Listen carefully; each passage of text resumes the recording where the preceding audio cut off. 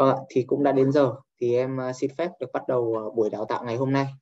Thì trong buổi đào tạo hôm nay chúng ta hay sẽ có 3 phần chính ạ. Thì à, đầu tiên là em sẽ hướng dẫn thầy cô sử dụng các chức năng trên hệ thống.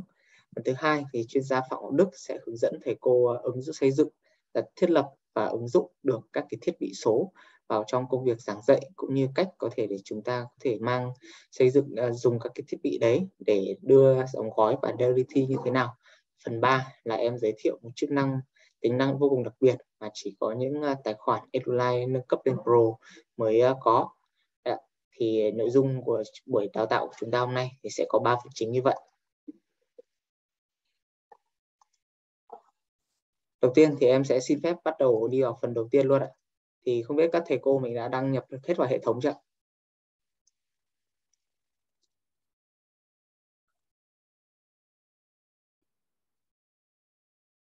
Đấy, em thấy có một số thầy cô là thắc mắc là tại sao chưa được lên tài khoản Pro mặc dù đã đóng tiền rồi ạ. Thì uh, thực chất là có thể có một số thầy cô là mình bị nhầm sang cái khi đã lúc đăng ký mình bị nhầm sang tài khoản của học sinh thì thầy cô chú ý giúp em là khi mà mình đăng ký mình nhớ chọn tài khoản giáo viên và với cái tài khoản giáo viên ấy, thì mình sẽ có các cái thanh công cụ chức năng ở phía bên tay trái em đây Đấy. thì chúng ta sẽ thao tác với cả các chức năng chính của hệ thống ở trên cái phần thanh công cụ ở bên tay trái này. Ở cái mục chức năng đầu tiên em xin giới thiệu với các thầy cô, đó là cái phần à, thư viện bài giảng. Thư viện bài giảng của Eduline sẽ gồm bao gồm các cái bài giảng về e-learning, các nội dung tự học, các à, phiếu ôn tập tương tác và các cái thiết bị số trò chơi để giúp cho chúng ta hỗ trợ các thầy cô tốt hơn trong công việc giảng dạy của mình. Đó. Thì thầy cô có thể tìm à, với lớp Đấy, với cho hiện tại chủ yếu các cái tài liệu ở trong cái kho thư viện này sẽ trải dài từ cấp mầm non đến tiểu học. Còn uh, cấp 2, cấp 3 thì bọn em uh, sẽ có kế hoạch uh, triển khai trong thời gian tới. Nhưng hiện tại thì uh, đa số cái kho tư liệu này nó chỉ ở tập trung trong cái phần uh, uh, từ, từ cấp 2 à, từ mầm non đến tiểu học. Dạ. Thầy cô với uh, uh, từ lớp 1 đến lớp 5 thì bọn em đã xây dựng xong cái bộ phiếu ôn tập toán Đấy, cho từng một lớp học thì cô có thể search cái từ khóa đấy. mình sẽ sử dụng các cái từ khóa để mình tìm trên thanh công cụ này. Đấy, các cái phiếu ôn tập thì đã được uh, xét theo tuần thì thầy cô có thể gõ từ khóa. Ví dụ phiếu ôn tập toán 3 tuần 10 chẳng hạn. Đấy, chúng ta sẽ thử sử dụng thanh công cụ này để chúng ta tìm kiếm các cái à, phiếu ôn tập theo từng tuần và hiện tại thì ờ, mình sẽ tìm dùng ờ, phương pháp thủ công này ạ. Thì ờ, sắp tới ở đợt cập nhật tháng 9 tới đây thì bọn em sẽ cập nhật lên phiên bản mới và sẽ giúp các thầy cô có thể gom tất cả các cái phiếu lại thành một chương trình. Đấy như vậy thì sẽ giúp cho thầy cô mình dễ dàng hơn trong việc là mình trong việc mình sử dụng. Trong việc mình sử dụng các cái nguồn tài nguyên này một cách dễ dàng và hiệu quả nhất. Đấy, thì các thầy cô thường bị nhầm lẫn giữa cái phần lớp học này và phần thư viện bài giảng. Đấy, thì em cũng xin được chia sẻ cách thức mà chúng ta sử dụng các cái phiếu ôn tập này trên lớp ra sao. Đấy, thì khi thầy cô chọn vào một cái phiếu đấy Đấy, để cho học sinh làm bài thì mình sẽ có cái nút chia sẻ ở đây. Đấy, thầy cô bấm vào cái phần nút chia sẻ này thì nó sẽ hiện ra một cái đường thông báo để chia sẻ thì việc của chúng ta đơn giản là chỉ cần sao chép. Đấy, sao chép cái link bài học này và gửi vào nhóm Zalo. Như em sẽ gửi vào nhóm đây. Ví dụ chẳng hạn. Đấy. thì tất cả các thầy cô thì khi học sinh ấy, mà kích vào cái bài này rồi thì học sinh sẽ có thể là học sinh sẽ nhìn thì học sinh à, là sẽ hiện được kết quả ở trên báo cáo của thầy cô. Đấy, và chúng ta sẽ xem kết quả đâu ạ. Chúng ta không cần thiết phải vào lớp học đây để tạo các thầy cô nhé. Mình sẽ có một cái bảng báo cáo đây. Đấy ạ. khi thầy cô mà gửi đường link đấy thì hệ thống nó sẽ tự động cập nhật đấy, các cái phiếu ôn tập các cái bài mà các thầy cô gửi cho học sinh. Đấy, nó sẽ cập nhật ở đây. Và thầy cô chỉ cần bấm vào là sẽ hiện ra danh sách các học sinh làm bài. Đấy ạ. thì đây sẽ là danh sách những học sinh đã làm trong cái bài phiếu ôn tập em gửi thì à, thầy cô à, đấy, nhưng mà tuy nhiên là có một lưu ý là thầy cô nên uh, hướng dẫn học sinh cũng cần phải đăng nhập tài khoản trước khi kích vào đường link làm bài.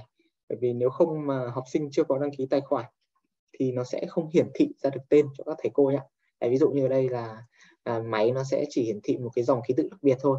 Đấy nên là thầy cô cần lưu ý với học sinh là cần đăng ký tài khoản trước khi uh, làm bài để chúng ta có thể biết được tên xác định được danh tính của học sinh.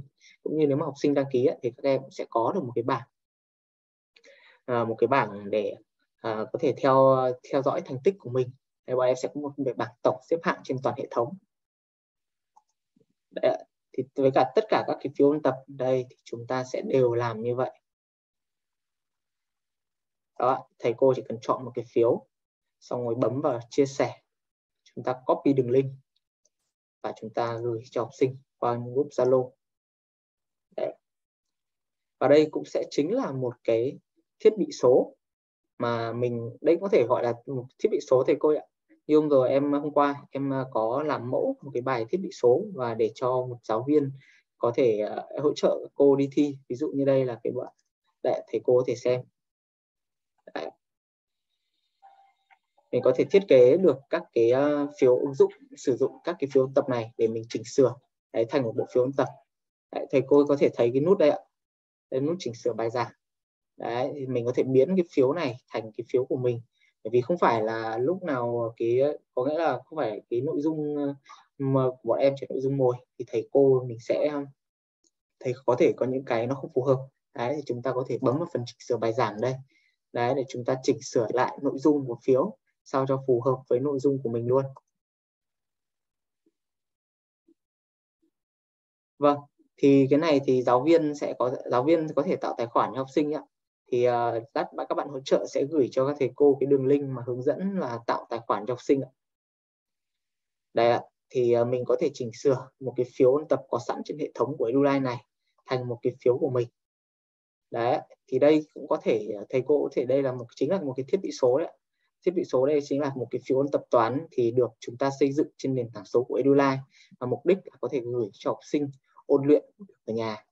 Đấy, như thầy cô có thể thấy đây là các cái phiếu, em ờ, có thể chỉnh sửa một cái phiếu ôn tập này thành một cái dạng thiết bị số ôn tập. Đấy. và em cũng đã trình bày lại thành một cái bảng mô tả. Đấy, thiết bị dạy học số theo công văn số 1338 theo quyết định Bộ Giáo dục Đào tạo ngày 19 tháng 5 2022 đấy thì cái bản mô tả này thì em cũng được uh, dựa theo những chia sẻ của những giáo viên rất là có chuyên môn cao trong ngành e-learning. Đấy thì cái form của chúng ta sẽ được thiết kế như thế này. À, thì uh, cái phần này thì em sẽ nói phần cuối ạ. Thì em đang uh, mình đang nói về qua về cái hệ thống. Thì thầy cô mình có thể sử dụng các cái phiếu này. Đấy ạ thì có thể vừa là một cái công cụ để chúng ta đấy, chính là một cái thiết bị số để chúng ta ôn luyện cho học sinh các kiến thức về môn toán học với các cái dạng bài tập tương tác trên hệ thống. Đấy, thầy cô có thể vào đây và chỉnh sửa theo các à, theo ý muốn của mình. Đấy, nó có rất nhiều các dạng bài tập đa dạng. Đấy, theo công văn thì thiết bị số của chúng ta đã sẽ xây dựng trên nền tảng. Đấy, nó sẽ hỗ trợ học sinh những cái gì Đấy, thì những cái dạng bài trong được thiết kế ở trong cái nền tảng số Eduline này sẽ là một công cụ đắc lực hỗ trợ cho thầy cô Đấy, vào đắc lực cho thầy cô trong việc mình xây dựng thiết bị số Đấy. thì hiện tại là các thầy cô mình sẽ sử dụng cái phần này trên đường link bởi vì đây là một cái nền tảng à, xây dựng trên à, dùng công nghệ điện toán đám mây nên là các cái ví dụ như thầy cô nên chúng ta sẽ cần dùng trên ờ, cái ờ, link web. Và sắp tới đây thì bọn em sẽ có một chức năng để giúp các thầy cô thể tải về và đóng gói và dự đi thi. Đấy, thì cái này em sẽ nói về phần cuối. Đấy, thì khi chúng ta tạo xong một phiếu chúng ta có thể chia sẻ cho học sinh. Đấy, và tất cả kết quả thì nó sẽ được hiện ra ở trong cái phần báo cáo này. Thầy cô không cần phải vào lớp học để tạo nhé tự động mình chỉ cần chia sẻ thôi tự động hệ thống sẽ cập nhật. À, kết quả theo từng bài học và trong cái mẫu báo cáo này cho chúng ta Đấy. Thầy cô chỉ cần click vào từng cái phiếu là có thể thấy được thông tin của các học sinh làm bài Đấy.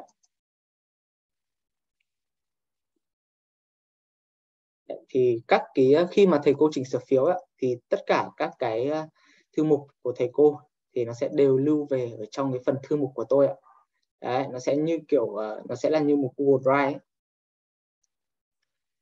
thì chúng khi mà chúng ta tạo xong một phiếu này mình khi mình bấm chỉnh sửa thì hệ thống sẽ tự động lưu lại trong cái phần thư mục của tôi này. Đấy khi thầy cô tắt tắt cái trang này đi. Đấy thì nó sẽ hiện lại ở trong uh, bài nó sẽ được tự động nó copy vào trong cái thư mục của tôi này. Đấy, nó sẽ như một cái file kho Google Drive của thầy cô trên nền tảng Edula. Đấy, chúng ta có thể tạo hoặc ờ, tạo các cái file bài học ngay trên cái phần thư mục của tôi này. Đó. Vâng còn tính năng là đóng gói chia sẻ thì sắp tới đấy, trong tuần sau thì với tất cả những cái tài khoản pro hệ thống sẽ được xuất ra cái định dạng zip ấy, thì chúng ta có thể nộp ứng dụng để mang đi thi.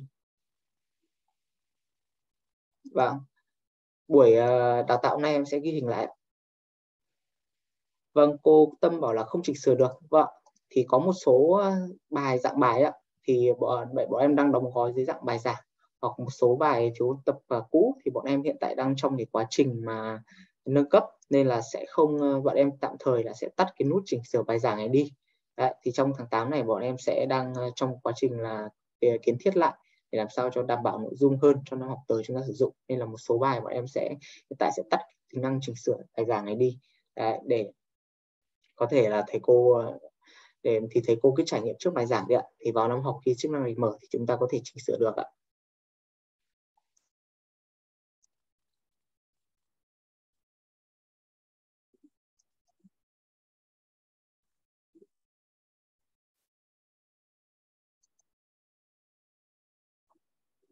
Đấy, thì ờ, đó là cái phần về cái phần ờ, các cái tài nguyên. Thầy cô sẽ hướng sử dụng các cái tài nguyên trên kho thư viện bài giảng của Edula như thế nào. Và em nghĩ để không để thầy cô chờ lâu thì em sẽ chuyển sang phần tiếp theo thì uh, chuyên gia Phạm Ngọc Đức thì sẽ hướng dẫn thầy cô là cách ứng dụng và xây dựng các cái thiết bị số trên nền tảng Edulai vào ờ, dạy học như thế nào. Em ờ, xin mời thầy Đức ạ.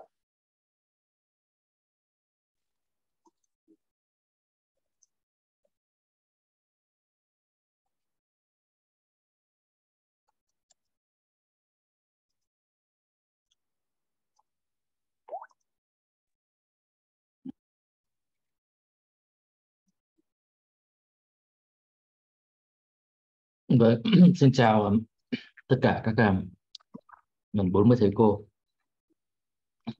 ừ, đã có mặt là trong uh, buổi tập huấn uh, sáng chủ nhật hôm nay.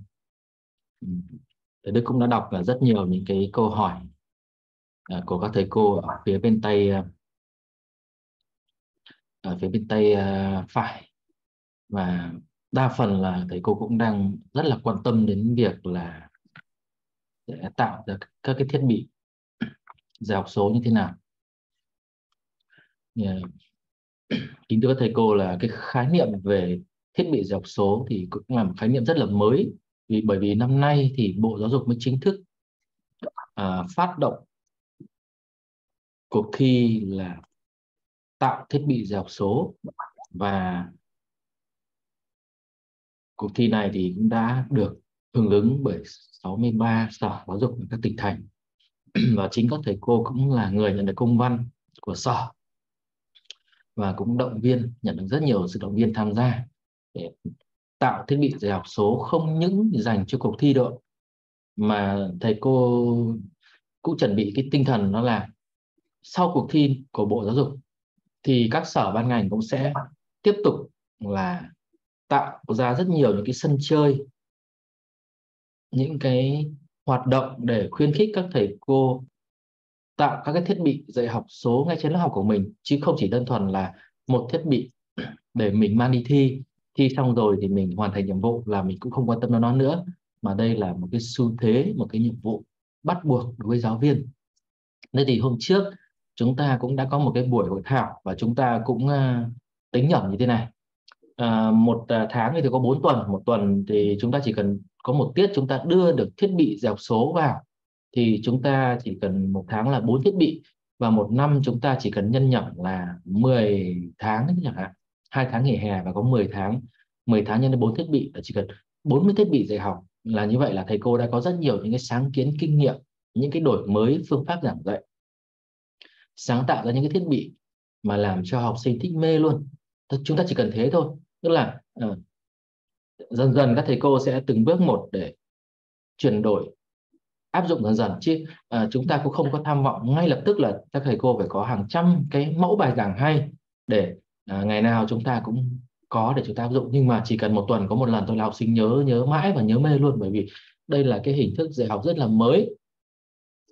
Và cho đến hiện nay thì có thể khẳng định với thầy cô là trên thế giới chứ không chỉ ở Việt Nam rất ít các nền tảng công cụ cho phép các thầy cô tạo thiết bị nhanh như thế này bởi vì là so với các phần mềm khác là các thầy cô phải cài đặt, phải bẻ khóa, rồi là phải quay video, tức là nó rất là mất thời gian. Và thầy Đức tin rằng là với cách làm hiện tại như của chúng ta thì thầy cô chỉ cần vào mất 5 đến 10 phút thôi là chúng ta cũng đã có thể tạo ra được một cái thiết bị dạy học mà chúng ta sử dụng ở trên lớp rồi. Thì đó là cái ưu điểm, cái ưu việt. Bởi vì nói gì thì nói, thời gian vẫn là tiền là bạc cái gì đó mà mất thời gian quá nhiều, quá phức tạp thì chả ai thích cả. Bây giờ ai cũng thế thôi, đều thích là nhanh, gọn lẹ. Cái gì nó gọn gàng, ngăn nắp và nó không mất nhiều thời gian dùng được ngay là chúng ta thích. Còn cái gì mà cứ phải ngồi sáng, chiều, tối, đêm, hì hục, hí hoáy làm mãi không có nổi là thường chúng ta cũng rất là áp lực. Bởi vì chúng ta còn rất nhiều công việc khác nữa, chứ không chỉ là tạo cái thiết bị dạy học trên lớp không. Là những cái tổng kết đánh giá trong buổi thảo trước thì Đức xin nhắc lại để các thầy cô cùng ôn lại hôm nay thì chúng ta có cái buổi đào tạo chuyên sâu dành cho các thầy cô đã đăng ký cái tài khoản EduLife Pro và một số thầy cô cũng đang coi như là nghiên, nghiên cứu cân nhắc. Do đó là chúng ta có cái cơ hội nhiều hơn để trao đổi với nhau trước khi mà hướng dẫn các thầy cô. Thì các thầy cô ơi, chúng ta hãy dùng cái ờ, hộp thoại chat ở bên tay phải để các thầy cô nhắn cho thầy Đức và mọi người ban tổ chức biết là thế thì thầy cô đang quan tâm cụ thể đến một cái thiết bị dèo số nào? Bởi vì thầy Đức, ví dụ như thầy cô sẽ hiểu này. Ngày xưa khi chúng ta dạy học là chúng ta mà lấy được cái chiếc nón kỳ diệu là chúng ta mê lắm. Bởi vì sao? Ấn cái nón là nó quay trong lớp vào, sinh gọi ngẫu nhiên học sinh thích mê luôn. Thế nhưng mà những cái thiết bị dạy học đó nó rất là hạn chế. Thầy cô cứ nhớ lại mà xem. Khi chúng ta dạy online cũng thế. Để kiếm được cái nón kỳ diệu, để kiếm được mấy cái mấy cái gọi tên nó là chúng ta vất vả vô cùng luôn. Mà thầy Đức cũng đã trải nghiệm cái cái cái cái cái cái việc đi, phải đi tìm kiếm như thế rồi thế thì chung quy lại là mình nhớ lại cái năm học covid năm ngoái là mình cũng chỉ có vài thứ thôi. Một là quay nón kỳ diệu thứ hai là gọi tên rồi thứ ba thứ tư chỉ có năm vào vài cái thôi để chúng ta đưa vào lớp học. Tức là chúng ta cảm thấy là thiếu thốn cái thiết bị vô cùng luôn nhưng mà không biết không làm cách nào để có được. Thế thì ở năm nay thì chúng ta có một cái thuận lợi đó là uh, covid cũng đã giảm bớt xuống và chúng ta quay lại trường học. Vậy thì khi quay lại trường học thì bộ giáo dục lại phát động cái chương trình là tạo thiết bị số để để chúng ta làm sao duy trì cái tinh thần ứng dụng số trong giai đoạn covid chúng ta vẫn tiếp tục ứng dụng trong giai đoạn hậu covid. Thế thì chúng ta à, à, cùng thầy Đức gợi mở xem thế thì ngoài những cái nón quay kỳ diệu rồi những cái thứ mà chúng thầy cô hay tìm kiếm trước đây thì bây giờ thầy cô quan tâm đến những cái hoạt động nào trong lớp học? Thì thầy cô có thể nhắn cho thầy Đức và ban tổ chức ở trong hộp tin nhắn này thì chúng ta cùng trao đổi được bởi vì tài khoản EduLife Pro thì có hơn 20 mẫu thiết bị dạy học do đó là các thầy cô nhắn càng chi tiết thì Đức càng có những cái thông tin để giúp các thầy cô có thể thiết lập điều chỉnh những cái thiết bị để nó khớp với nhu cầu của thầy cô nhất ạ. À, ví dụ như là chiếc nón kỳ diệu để ờ, quay gọi tên ngẫu nhiên mình có thể gọi là một thiết bị đấy bởi vì mình có thể dùng đi dùng lại nhiều lần trong lớp mình có thể sử dụng để mình gọi tên bất kỳ một học sinh nào trong lớp đó cũng mình có thể coi là thiết bị. Nhưng đó chưa đủ để dạy học tức là mình nghĩ là thầy cô còn quan tâm đến rất nhiều những cái thiết bị khác. Và đó có thầy cô thì quan tâm luôn đến một cái hoạt động bài tập củng cố tiết học. Đúng đúng ạ chúng ta đơn giản ta hiểu như này. Một tiết học thì có hoạt động khởi động hoạt động đặt vấn đề nêu vấn đề đưa vào bài học sau đó hoạt động như là trang bị kiến thức cho người học sau đó thực hành vận dụng và cuối cùng là củng cố. Vâng thế thầy đức đã có một từ khóa rồi là làm thế nào để có một cái thiết bị giáo củng cố kiến thức sau buổi học rất là hay.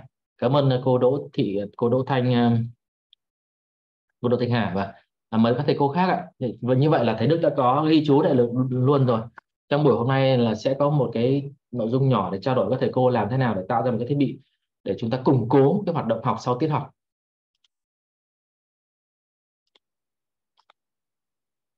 Và à, có thầy cô cũng vừa nêu ý kiến là um, bài học về môn khoa khoa môn khoa học lịch sử địa lý khối tiểu học. Và thì thầy cô có thể bởi vì nói thế nào nó rất là chung chung. Nếu thầy cô có thể nêu đích danh một cái thiết bị ví dụ như là em muốn có một cái thiết bị dạy học ở môn địa lý mà ở đó cho phép học sinh khám phá từng điểm từng điểm từng điểm ở trên bản đồ. Khi bấm vào từng điểm thì điểm đó sẽ hiện ra thông tin về địa danh lịch sử. Thì nếu mà một cái mô tả như thế sẽ rất là tuyệt vời còn nếu với những mô tả mà phần mềm chưa có những thiết kế bài về khoa học lịch sử địa lý, thì cái đó chúng ta chưa gọi là thiết bị được, thầy cô ạ. Vì một thiết bị dạy học số ở buổi tập huấn hôm trước chúng ta nói rồi, đã là thiết bị thì có thể chúng ta coi nó là có thể sờ được, nắm được, thậm chí có thể ngửi được thì là điều chỉnh cái thông số được để chúng ta sử dụng được trong bài nọ, bài kia chẳng hạn. Thì đó là thiết bị, nếu mà chỉ là một bài giảng dùng một lần xong chúng ta cất đi, thì đó chúng ta gọi là bài giảng điện tử thôi.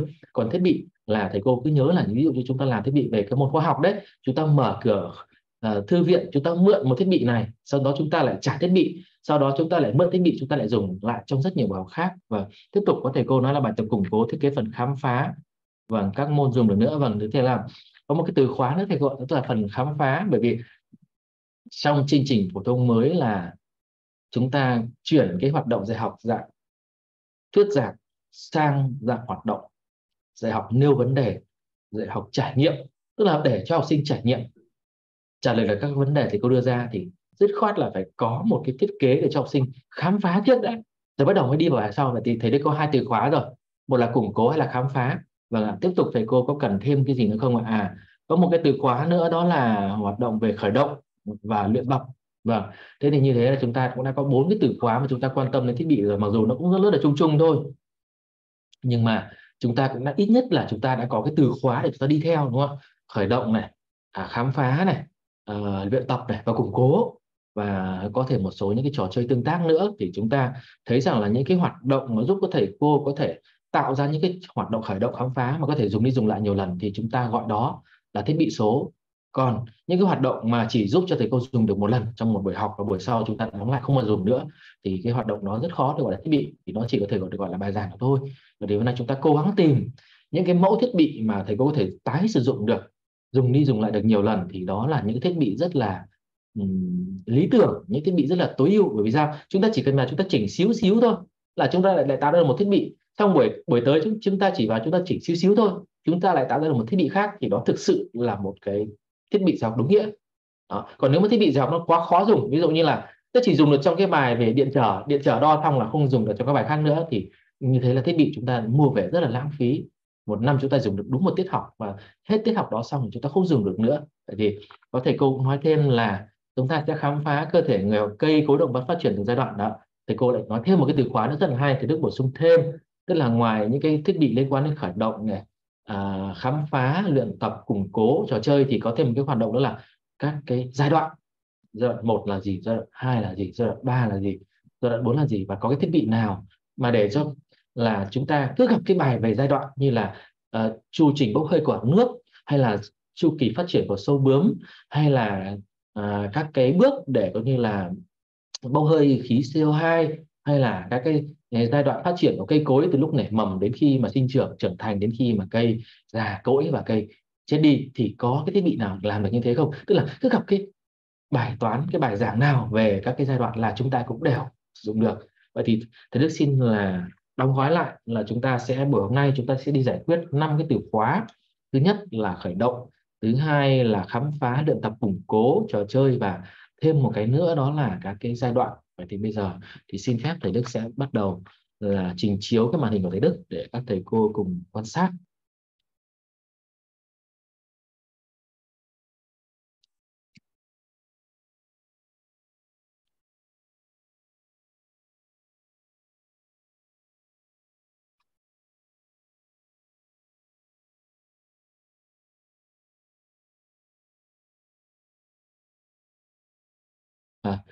À, Thế thầy cô là thầy Đức ờ, cũng thử ngồi buổi sáng để vào Google và search một cái bài toán mà có lời văn ở tiểu học.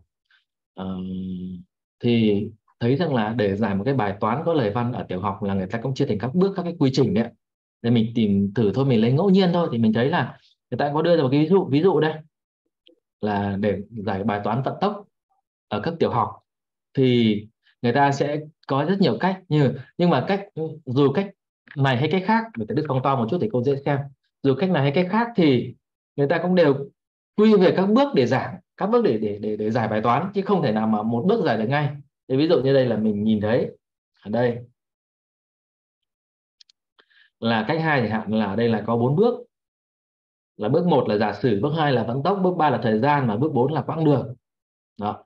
Vậy thì các thầy cô giảng ở trên lớp thường là à thế để các em làm cái bài tập này thì các em phải làm bước như sau sau này chúng ta dạy hóa dạy sinh dạy địa lý chúng ta cũng đều quy về các bước các bước như vậy. Bởi vì chúng ta thấy là đa số các cái vấn đề chúng ta nêu ra thì có đều có uh, có những cái cách phổ biến để chúng ta giải quyết. Vậy thì giả sử chúng ta ưng cái, cái cách hai này là bốn bước mà chúng ta rất ưng rồi thì chúng ta muốn đưa cái cái cái cách này lên trên lớp để học sinh sắp xếp lại để thành một cái lời giải hoàn hoàn hoàn chỉnh thì chúng ta sẽ làm thế nào? Thì đấy là chúng ta đang tư duy là chúng ta đang tìm kiếm cái thiết bị dạy học. Để sau này mà cứ những cái bài toán có lời văn mà có các bước dạy học là thầy cô cháo các bước đi yêu cầu học sinh tái hiện lại. Vậy thì thứ nhất thì chúng ta sẽ làm gì? Ở đây là mình sẽ mình sẽ tìm một cái ảnh à, để mình minh họa bài cho nó xịn sò thì mình sẽ đánh vào Google là cái bài toán vận tốc tiểu học để mình có một cái ảnh. Ví dụ đã bài toán tính vận tốc tiểu học mình tìm tạm một cái ảnh để mình minh họa thầy cô để mình thầy cô biết là các cái bước để mình soạn thiết bị điều à đây rồi. Thế thì thầy Đức hơi lười tí thì đúng ra thầy Đức phải lấy sách giáo khoa, dùng điện thoại, chụp cái ảnh, sau đó là lưu vào máy tính. Nhưng thôi, thầy cô thông cảm thời gian nó không có nhiều, thì mình cứ vào Google, mình kiếm tạm một cái bài vận tóc gì đã. Đó giả sử đây là cái ảnh. Đúng cái ảnh mình cần đấy rồi. Còn sau này thầy cô có sách mềm với thầy cô ạ, thì thầy cô làm cái thao tác này nhanh ghê luôn mỗi một thầy cô mua một bộ sách giáo khoa là họ đều cấp cho một cái ờ, mã để mình vào cái sách đó. Mình chụp được cái tiêu đề bài toán nhưng mà thôi bây giờ mình cứ lấy tạm mà anh Google đã. Mình lưu cái ảnh này về máy tính. Đây là vận tốc toán lớp 5 đã này. Mình lưu tạm vào máy tính của mình cái này đó. thế khi có cái ảnh bài toán rồi ảnh bài toán rất là quan trọng thầy cô nha. Bởi vì khi chúng ta dạy toán mà chúng ta không có ảnh minh họa thì học sinh sẽ học toàn chữ không rất là khó học. Nhưng có cái hình ảnh minh họa học sinh nhìn sẽ hiểu bài rất là nhanh. Vậy thì mình có ảnh rồi bây giờ mình quay lại.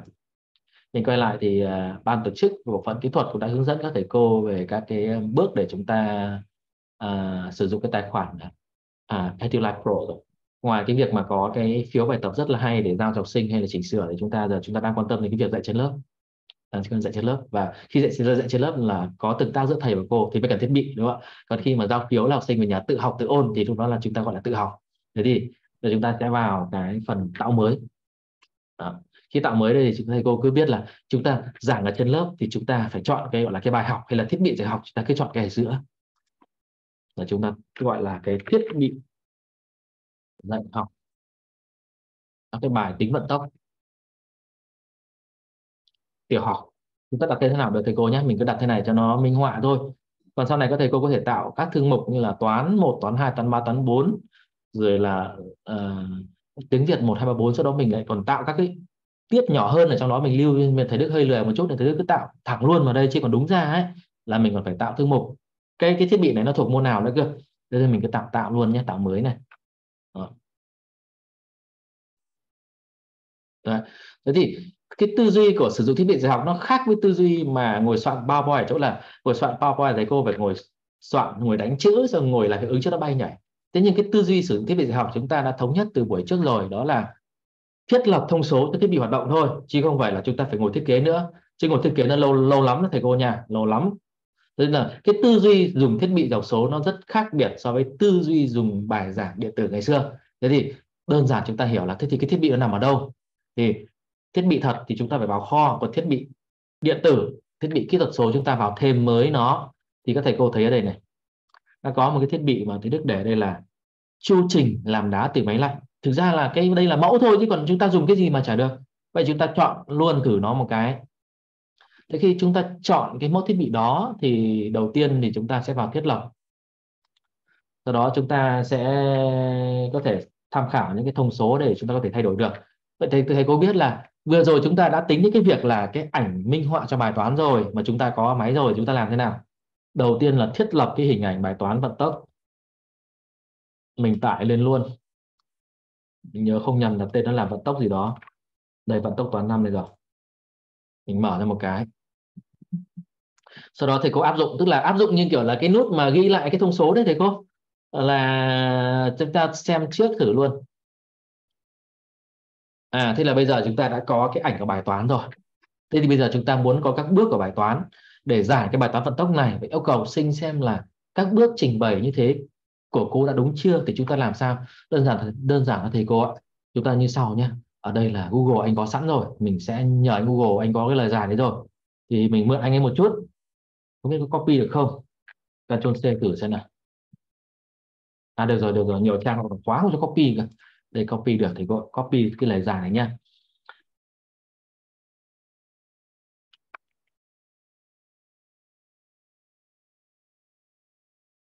đây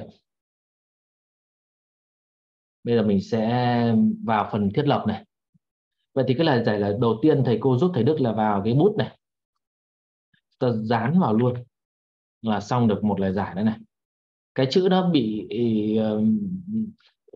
to nhỏ chúng ta tính sau thầy cô nha cái đấy là chúng ta thiết lập được chúng ta cứ đầu tiên chúng ta cho các bước vào đã đó sau đó chúng ta lại quay lại anh Google chúng ta kiếm cái lời giải tiếp theo của anh ý là bước hai của anh ý là chúng ta đưa vào tiếp theo chúng ta quay lại anh Google chúng ta lại lấy cái bước ba của anh ý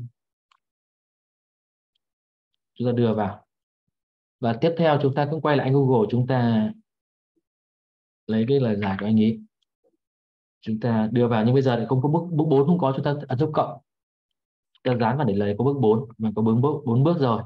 Để chúng ta cứ áp dụng đã, để chúng ta có bốn bước đã. Rồi tiếp theo, chúng ta thấy là à trong cái quá trình mà dùng cái thiết bị dạy học này thì có cái thông số, cái cái cái thông số dòng đầu tiên rất là dài. Thế do đó chúng ta chỉnh thiết bị một chút.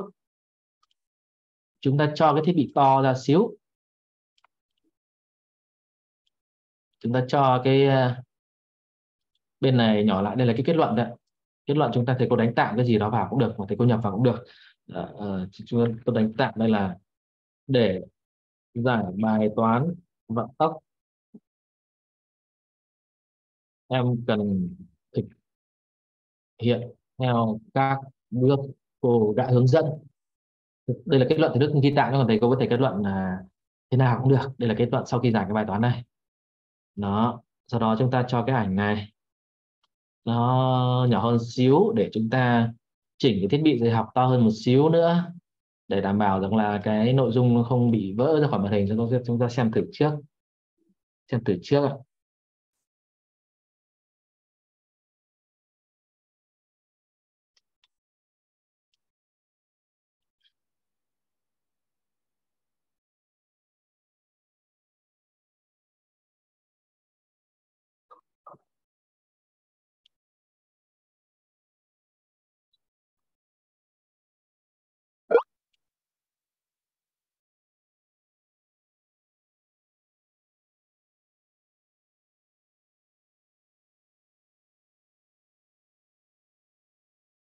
Và thầy cô chờ thấy được một xíu tự nhiên à, cái thiết bị nó lại à có cái sự thay đổi đó không đúng với cái à, hoạt động là thầy cô cho thầy Đức khoảng tầm 30 giây. Thầy Đức xem lại một xíu, xem là lý do nằm ở đâu.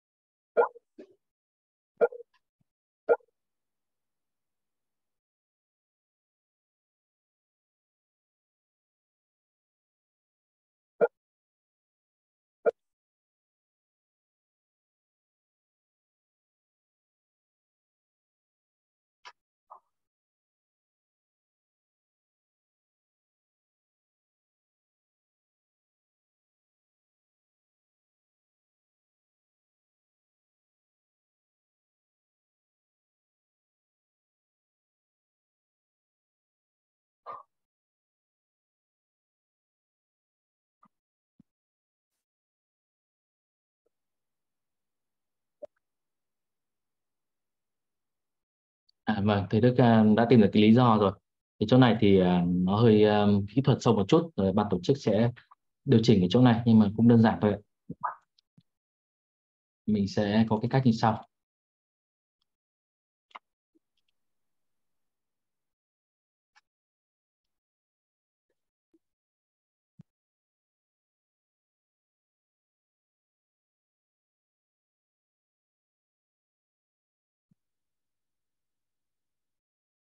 Được rồi đấy.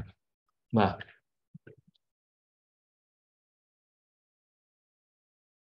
Thế Đức lại chia sẻ lại màn hình. Vâng. ở cái chỗ này thì ban tổ chức sẽ chỉnh sửa lại một chút cái phần này bởi vì là khi mà cái chữ nó to một chút thì cái nội dung nọ đè nội dung kia dẫn đến cái việc mà các cái nội dung này tự đổi chỗ cho nhau nhưng mà à, thầy cô cứ quan sát cái cách thiết lập trước để chúng ta có cái uh, quy trình để chúng ta sử dụng thiết bị thì ở đây thì thầy cô ờ, chỉnh luôn cái ờ, tiêu đề bài học bằng hai cách. Một là chỉ trực tiếp được hay là chúng ta vào phần thiết lập cũng được. Chúng ta thay đổi là à, sắp giảm bài toán. Có lời văn. Chủ đề tính vận tốc.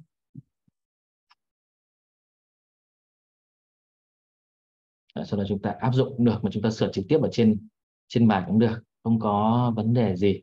Rồi chúng ta có hai cách để sử dụng thiết bị rồi thế thì à, sau khi chúng ta chọn ảnh rồi này chúng ta đưa các bước vào rồi này chúng ta à, lưu lại rồi để chúng ta có thể xem trước đúng không ạ?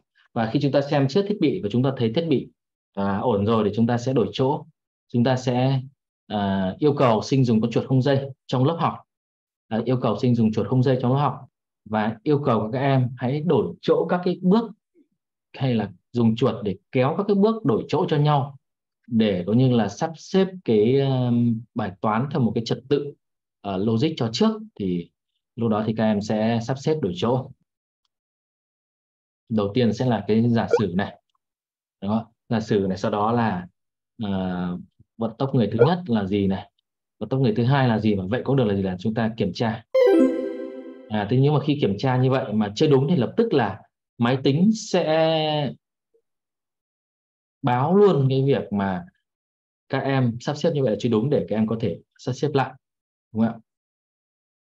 Ở đây không biết là thầy Đức đã sắp xếp đúng hay chưa để mình xem lại cái trình tự xem nào. À, vận tốc à phải thứ hai hơn một và thứ một là thì bây giờ thầy Đức làm chưa đúng vậy thì mình sẽ làm lại. Đó là đầu tiên là giả sử này sau đó là đến vận tốc người thứ hai này sau đó đến là vận tốc thời gian người thứ nhất này và cuối cùng bây giờ là quãng đường và chúng ta kiểm tra nếu mà giả sử học sinh sắp xếp đúng thì làm thiết bị dạy học sẽ tự chấm và sẽ tự coi như là à, bôi xanh hay là có cái thông báo màu xanh để học sinh biết là các em đã làm đúng và à, có cái kết luận hiện ra. Thì cái thiết bị dạy học này thì à, ban tổ chức cũng đã nghiên cứu và cũng đã tham khảo rất nhiều các thầy cô khi mà giảng những cái bài toán mà có những cái trình tự trật tự cần phải thay đổi và yêu cầu các em phải biết là cái bước nào phải thực hiện trước và thực hiện sau thì thiết bị này dùng. Trong trường hợp này là rất là hiệu quả. Vâng cái câu hỏi là giáo viên không cần đặt đáp án, đúng không ạ? Chính xác ạ. Tức là thiết bị dạy học đã đặt đáp án cho các thầy cô rồi và thiết bị dạy học cũng rất là thông minh, là mỗi một lần thì lại đảo ngẫu nhiên một cái trật tự mà học sinh không biết trước được. Bởi vì nếu mà giả sử mà thiết bị dạy học và lần nào cũng có cái trật tự mà giống như là thầy cô đã dạy buổi trước là các em biết liền hoặc là muốn cho các em khác làm mà thầy cô lại tạo ra một cái thiết bị mà lần tới nó lại đúng cái trật tự như cái bài trước là các em biết liền ngay. Vậy thầy cô cái câu thầy cô thử xem nhé. Bây giờ mình lại chạy này. Là bây giờ là cái đầu tiên này là giả sử sau đó là người hai thời gian và phải quãng đường là tức là chúng ta uh, lại thử lại lần nữa này. Đó thế thì cái giả sử lại số cuối cùng và cái uh, thời gian rồi là quãng đường ngày một ngày hai. Như vậy là chúng ta có cái tổ hợp là chập 4 đúng không ạ? Chúng ta có cái tổ chập 4 để tạo ra những cái tình huống dạy học. Và thiết bị tạo ra được cái tổ hợp chập 4 như thế này thì học sinh cũng sẽ rất là thú vị. Mặc dù vẫn là cái bài toán vận tốc, vẫn là cái thiết bị dạy về vận tốc thôi, nhưng mà mỗi một em sử dụng thì lại có một cái đề bài khác nhau. Thì đó là cái ưu điểm của thiết bị. Và và và khi mà chúng ta tạo ra thiết bị dạy học số ở trên tài khoản EduLife Pro thì chúng ta có được hỗ trợ tính năng đó. Tức là tự thiết bị đã xáo trộn cái bài toán đi để học sinh không phát hiện ra được là cái đề bài em trước làm em sau có thể nhớ các bước để làm theo. Thì uh, tài khoản Android Pro là có cái tính năng rất là ưu việt như vậy là tự động thay đổi tự động xáo trộn cái thông thông tin của đề bài để học sinh mỗi mà học sinh làm thì lại có một cái trải nghiệm mới. Mặc dù vẫn là bài toán đó thôi nhưng mà lại là có một cái trải nghiệm mới. Đó. Thế vậy thì uh, thưa các thầy cô là vừa rồi thì thầy Đức cũng chỉ mất đâu đó là hỏi anh Google mất đâu đó là hai phút tải cái ảnh của anh Google về máy mất một phút. Sau đó là uh, đưa bốn cái bước giải của bài toán này vào trong máy tính mất khoảng tầm đôi đó phút hai phút thôi. Thực ra nếu mà thầy cô làm nhiều rồi thầy cô làm nhanh hơn thầy Đức nhiều. Đó. Nếu giả sử thầy cô còn thời gian thì thôi cho thêm 2 phút nữa để tinh chỉnh cho nó đẹp một chút xíu. Đó là chúng ta kéo cái này cho nó thẳng hàng rồi là chúng ta thấy là cái ờ, kéo thả đổi chỗ này chúng ta muốn lệch sang bên uh, uh, một chút xíu bên trái thì lúc đó chúng ta có thể có thời gian thì thầy cô Ờ, làm thêm còn nếu giả sử đến giờ cơm nước rồi bận quá rồi, đến giờ đón con rồi thì thôi. Làm thế này đã đã có một thiết bị rồi. Và thưa thầy cô là một thiết bị này chúng ta có thể sử dụng tạo ra được tổ hợp chập 4 có nghĩa là một thiết bị này chúng ta cũng có thể mời được 5 em lên để giống như là tham gia 10 em tham gia với một thiết bị đó thôi. Có nghĩa là một tiết học 45 phút, nếu chỉ cần dùng một thiết bị này là các thầy cô đã có khoảng tầm 5 đến 10 phút để cho các em trải nghiệm với thiết bị rồi và do đó là thầy cô còn khoảng 30 phút còn lại là hướng dẫn này củng cố này trang bị kiến thức nền. Thế là thầy cô đã có một tiết giảng mà đã có ứng dụng cái thiết bị dạy học số vào trong buổi học rồi. À, không có gì là phức tạp cả đúng không ạ? Chúng ta bây giờ chỉ có tính bằng phút thôi. Vậy thì thầy Đức xin phép là sẽ bây giờ chúng ta sẽ dừng lại một chút xíu để các thầy cô trao đổi.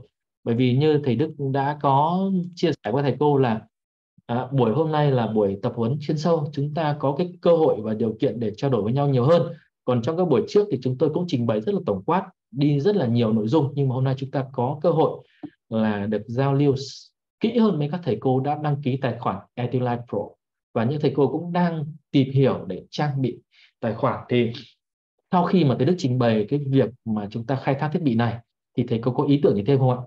Để chúng ta tạo luôn thiết bị khác ạ. Tức là, đây là toán thế còn địa lý, lịch sử, tiếng Việt thì có làm được như thế không? Thì mời các thầy cô cho ý kiến để thầy cô cũng sẽ uh, chúng ta trải nghiệm luôn để chúng ta thử luôn ạ. À, rất mong nhận được cái tin nhắn của các thầy cô trao đổi uh, sâu một chút bởi vì hôm nay chúng ta đang chúng ta đang ở cái phần 2 của chương trình là chúng ta bàn về cái thiết bị dọc số và thầy Đức mong muốn là một thiết bị dạy học số như thầy cô có thể áp dụng được rất nhiều môn rất nhiều tình huống dạy học. Vậy thì ngoài cái vừa rồi là toán thì thầy cô có ý tưởng gì cho tiếng Việt hay cho lịch sử cho địa lý hay cho tự nhiên cho xã hội không ạ? À, rất mong có thầy cô đưa cái nội dung trao đổi vào phần tin nhắn ở bên tay phải.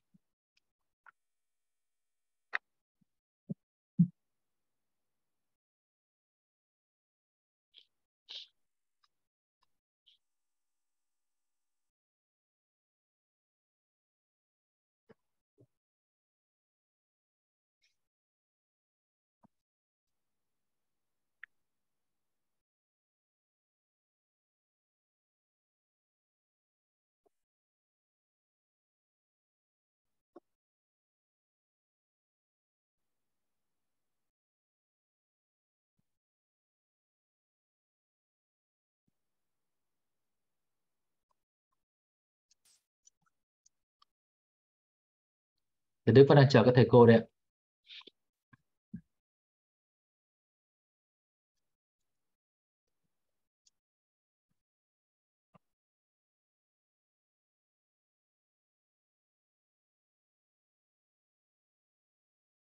Được, đã có một cái thông tin rất là quan trọng rồi.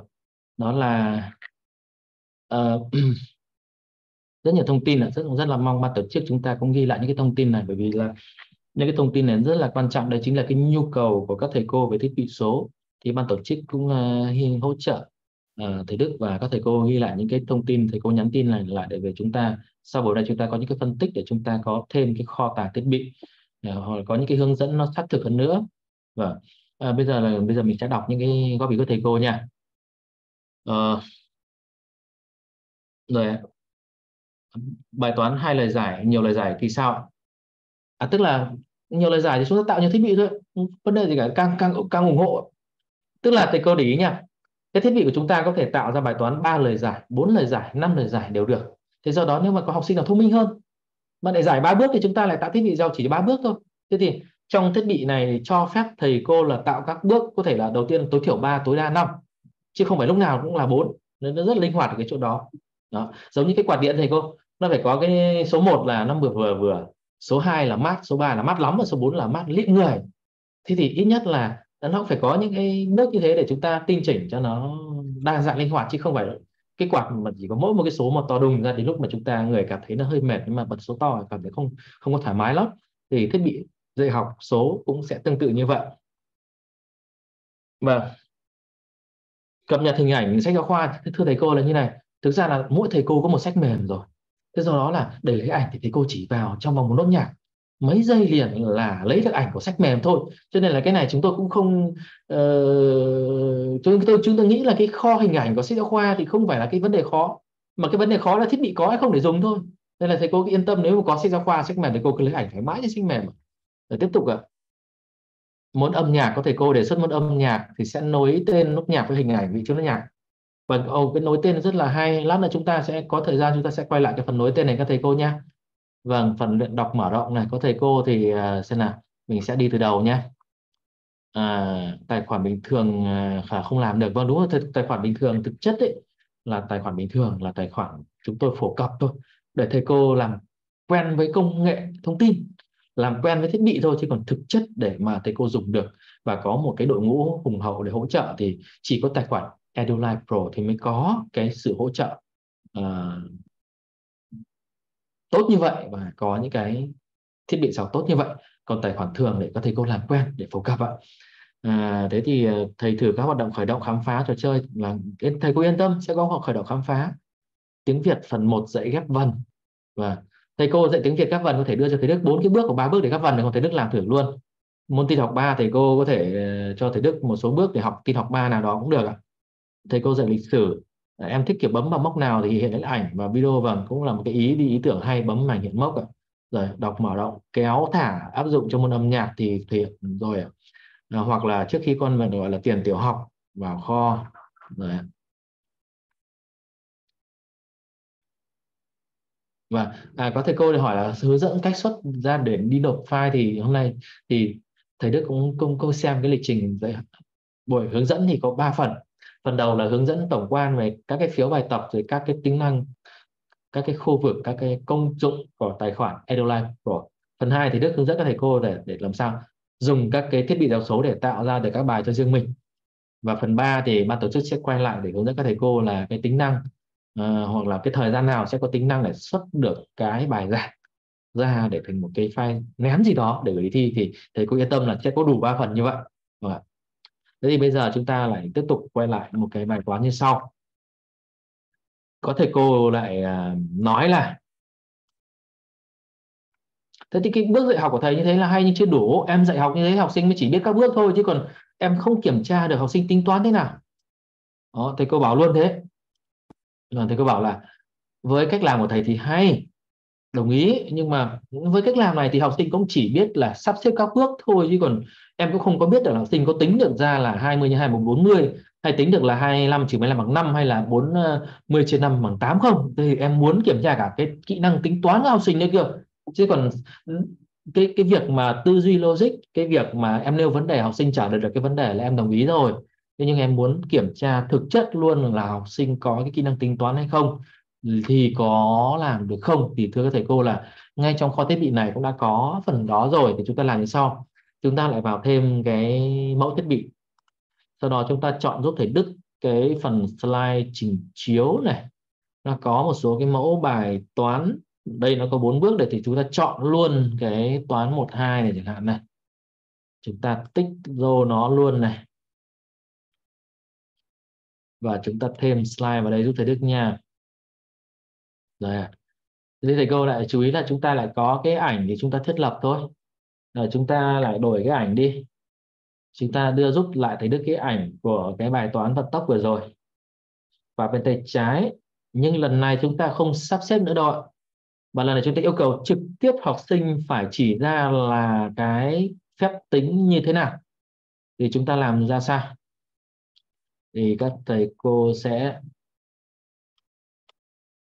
làm như này.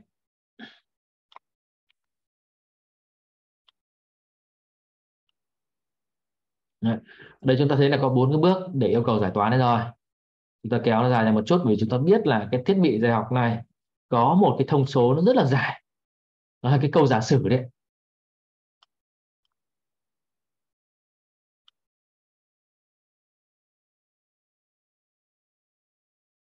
Rồi. tiếp theo là chúng ta sẽ chỉnh cho cái nội dung của các cái bước này, nó là sang bên trái cho nó dễ.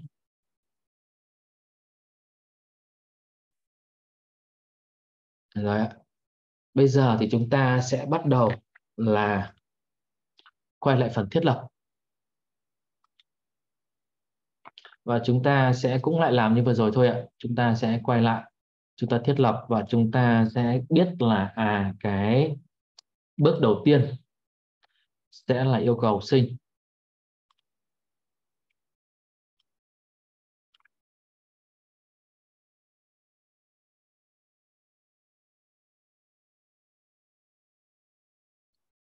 Thực hiện phép toán để chúng ta dán cái yêu cầu vào như ta dấu kết quả đi. Rồi chúng ta tiếp tục quay lại cái à, à, bước thứ hai.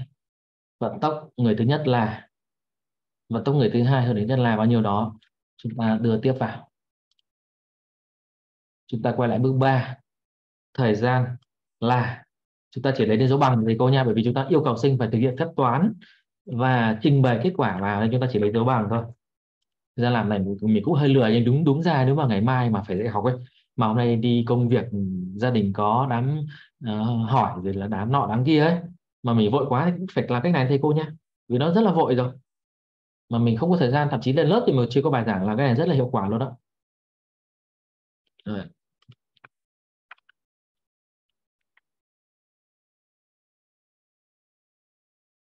Rồi cái thứ tư đấy.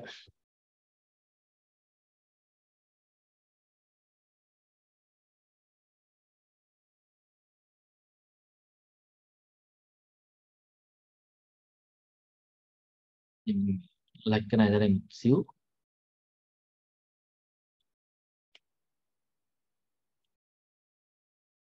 Rồi. Bây giờ mình sẽ kiểm tra lại xem tại sao chữ lại bị uh,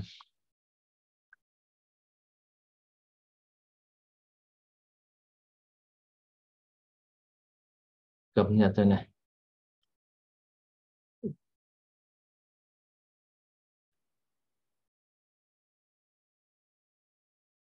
Bốn bốn vị trí rồi. À, thế đây sẽ kiểm tra lại xem tại sao.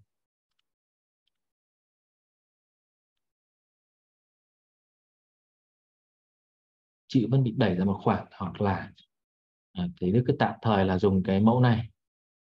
Để thu nhỏ lại một chút để thầy cô ờ, sẽ hiểu cái cách làm đã. Sau đó chúng ta sẽ có thể tinh chỉnh thiết bị sau.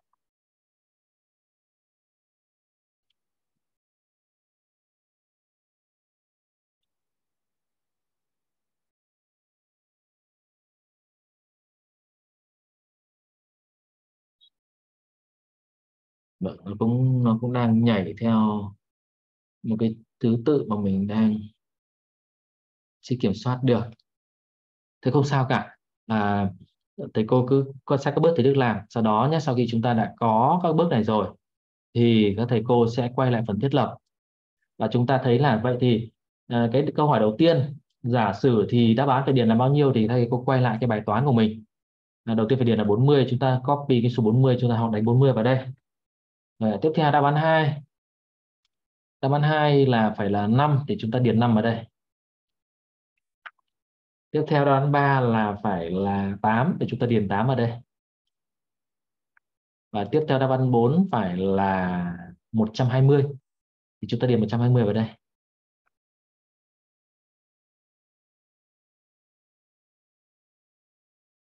Chúng ta áp dụng.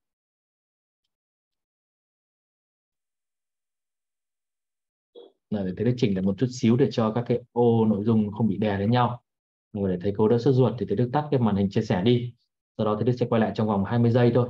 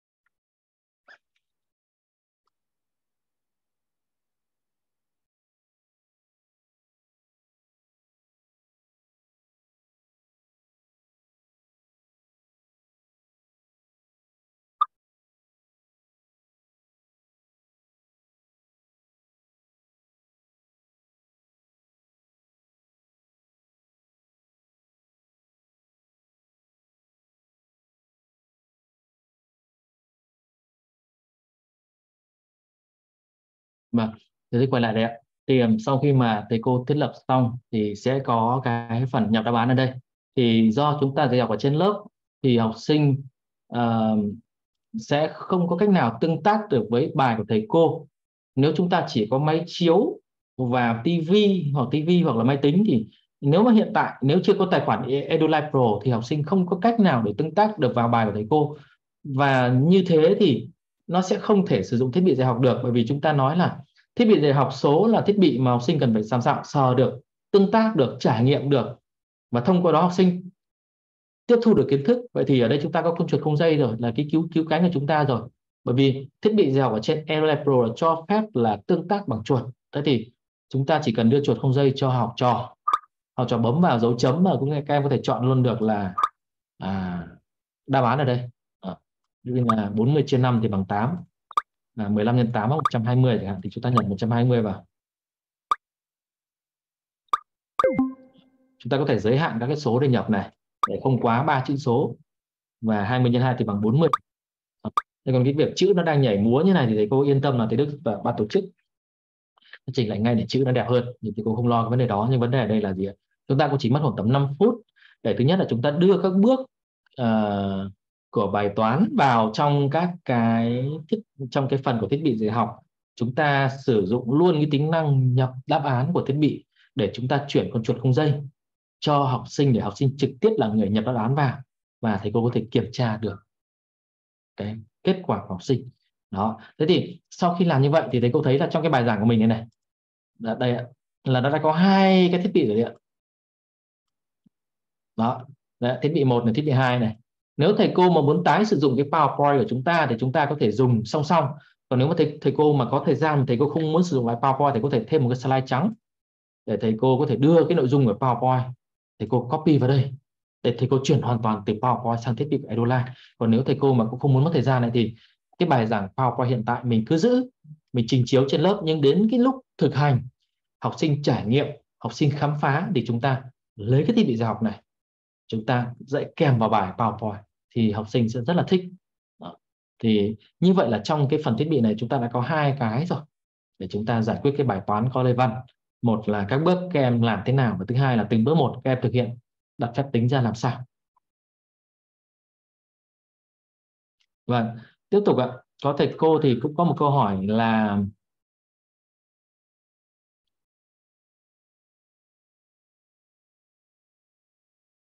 à vâng, có thầy cô để bảo là hướng dẫn các bước học sinh tự tự lời giải, tự lời giải phép tính thầy cô thể mô tả kỹ hơn thế được và ban tổ chức cũng sẽ có những cái uh, tư duy để cũng như là phản hồi tương ứng.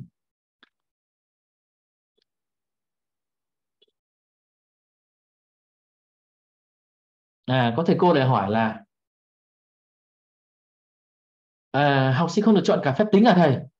Thế bây giờ thầy, thì cô lại muốn là uh, à, học sinh tự giải tức là tự ghi vào màn hình đúng không ạ? Cái này thì không không khó đâu, cái này thì lại quá là đơn giản rồi. Rồi lúc nào đó thầy Đức sẽ hướng dẫn thầy cô cho phép học sinh tự đặt lời giải vào màn hình. À, nhưng mà có một cái yêu cầu là như sau thầy cô nha. Khi mà học sinh mà tự giải thì có một vấn đề là nếu bài toán có lời văn thì thầy cô sẽ không có bàn phím để cho học sinh nhập vào và kể cả khi có bàn phím để cho học sinh nhập vào thì mỗi em lại nhập vào theo một dạng ký tự khác nhau. Có em còn chưa thạo đánh văn bản, có em đánh chữ hoa, chữ thường, có em đánh chữ cách nhau một đến hai chữ cái. Do đó đó lại là cái làm tự làm khó các thầy cô. Mình đã gặp câu hỏi này rất nhiều rồi và thầy cô cũng đồng tình. À như thế là tự mình làm khó mình. Chả tội gì phải làm thế cả, đúng không ạ? Nếu các em tự giải thì các em cứ ghi ra giấy hoặc là lên bảng, ghi vào bảng thôi. Đây là thiết bị, mà đã là thiết bị thì phải dùng nhanh, ngay và luôn. Do đó là cứ tận dụng con chuột không dây cho học sinh tương tác với số. Đó là cách làm hay nhất đến thời điểm hiện tại mà thầy Đức biết. Còn nếu thực sự mà thầy cô muốn học sinh tự ghi vào lời giải để máy tính chấm thì đó là một cái chưa phải là sáng kiến đâu ạ. Thầy cô cứ cân nhắc kỹ đi ạ. Đấy. Nghe nói thì hay thế rồi thầy Đức làm thử rồi. Ôi rồi vác cả mồ hôi ra luôn. Học sinh chạy lên bàn của giáo viên nhập, lung tung về hết cả, thậm chí nhập thì chả nhập, đọc cả tin zalo của thầy. Chết giả luôn rất là tối, đấy không phải sáng kiến rồi mình thử rồi, mình phải bỏ ngay ý tưởng này đấy bây giờ nha, có thầy câu hỏi câu hỏi rất là hay. Không bây giờ em không muốn học sinh tính một cái con số đơn lẻ như vậy. Em muốn học sinh phải làm cả phép tính cơ. Thì làm thế nào hả thầy? Ý muốn nói là em muốn học sinh là phải chọn được cả cái phép tính nó phức tạp này này. Chứ bây giờ ờ, 40 20 có khi em hỏi nhau em làm được. Thì bây giờ chúng ta làm như sau nhé nếu mà muốn học sinh chọn cái phép tính ấy thì chúng ta cũng lại quay lại cái việc giải bài toán của lễ văn nhưng chúng ta làm thế nào đó có thiết bị và có nhiều rất rất nhiều phép tính nhưng học sinh phải chọn được phép tính đúng cho cái lời giải đó. Vậy thì làm thế nào? Thì thưa thầy cô thầy cô làm như sau. Chúng ta đã có hai thiết bị rồi. Vậy chúng ta lại làm thêm một thiết bị nữa nha. Chúng ta chọn thiết bị nữa. Chúng ta lại vào thêm thiết bị này. Và mình sẽ vào cái phần trình chiếu này. Ở đây nó có một cái thiết bị có tên là dạy ờ, câu đoạn tiếng Việt thầy cô chọn giúp thầy Đức nha và đây nó sẽ có một cái phần để chúng ta chọn mà đưa được cả phép toán vào. Chúng ta chọn được. Chúng ta chọn.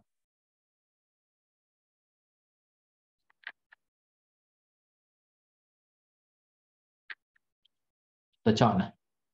Đưa thêm này. Đấy ạ.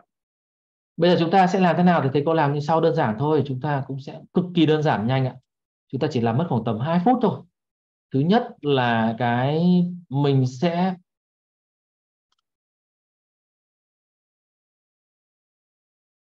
mình sẽ để cái ờ, bước 1 và bước 3 là cho học sinh biết. Còn bước 2 bước 4 mình sẽ yêu cầu học sinh phải làm.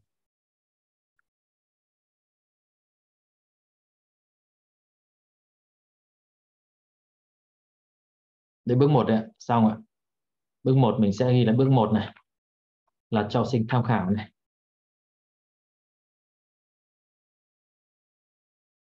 Rồi, xong bước 1 rồi mình cho cái phông chữ nó nhỏ xíu đi một chút để nhìn cho nó đỡ bị à... rồi.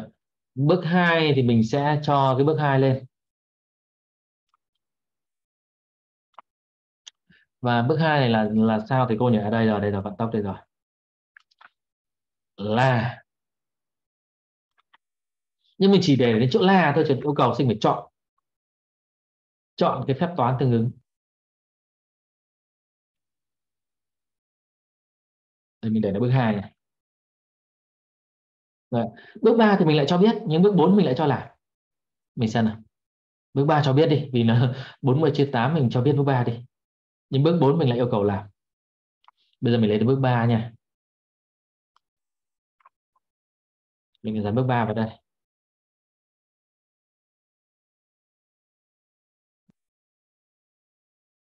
Là mình có bước 3 rồi. Mình cũng chỉnh sơ phông chữ cho nhỏ xíu xíu một xíu thôi. 16 16 và đây là bước 4 này. Là yêu cầu là bước 4 là gì đấy? À kết luận. Quãng đường là mình chỉ lấy chữ là thôi. Mình cho phông chữ cũng nhỏ xíu xíu đi bằng cái phần còn lại.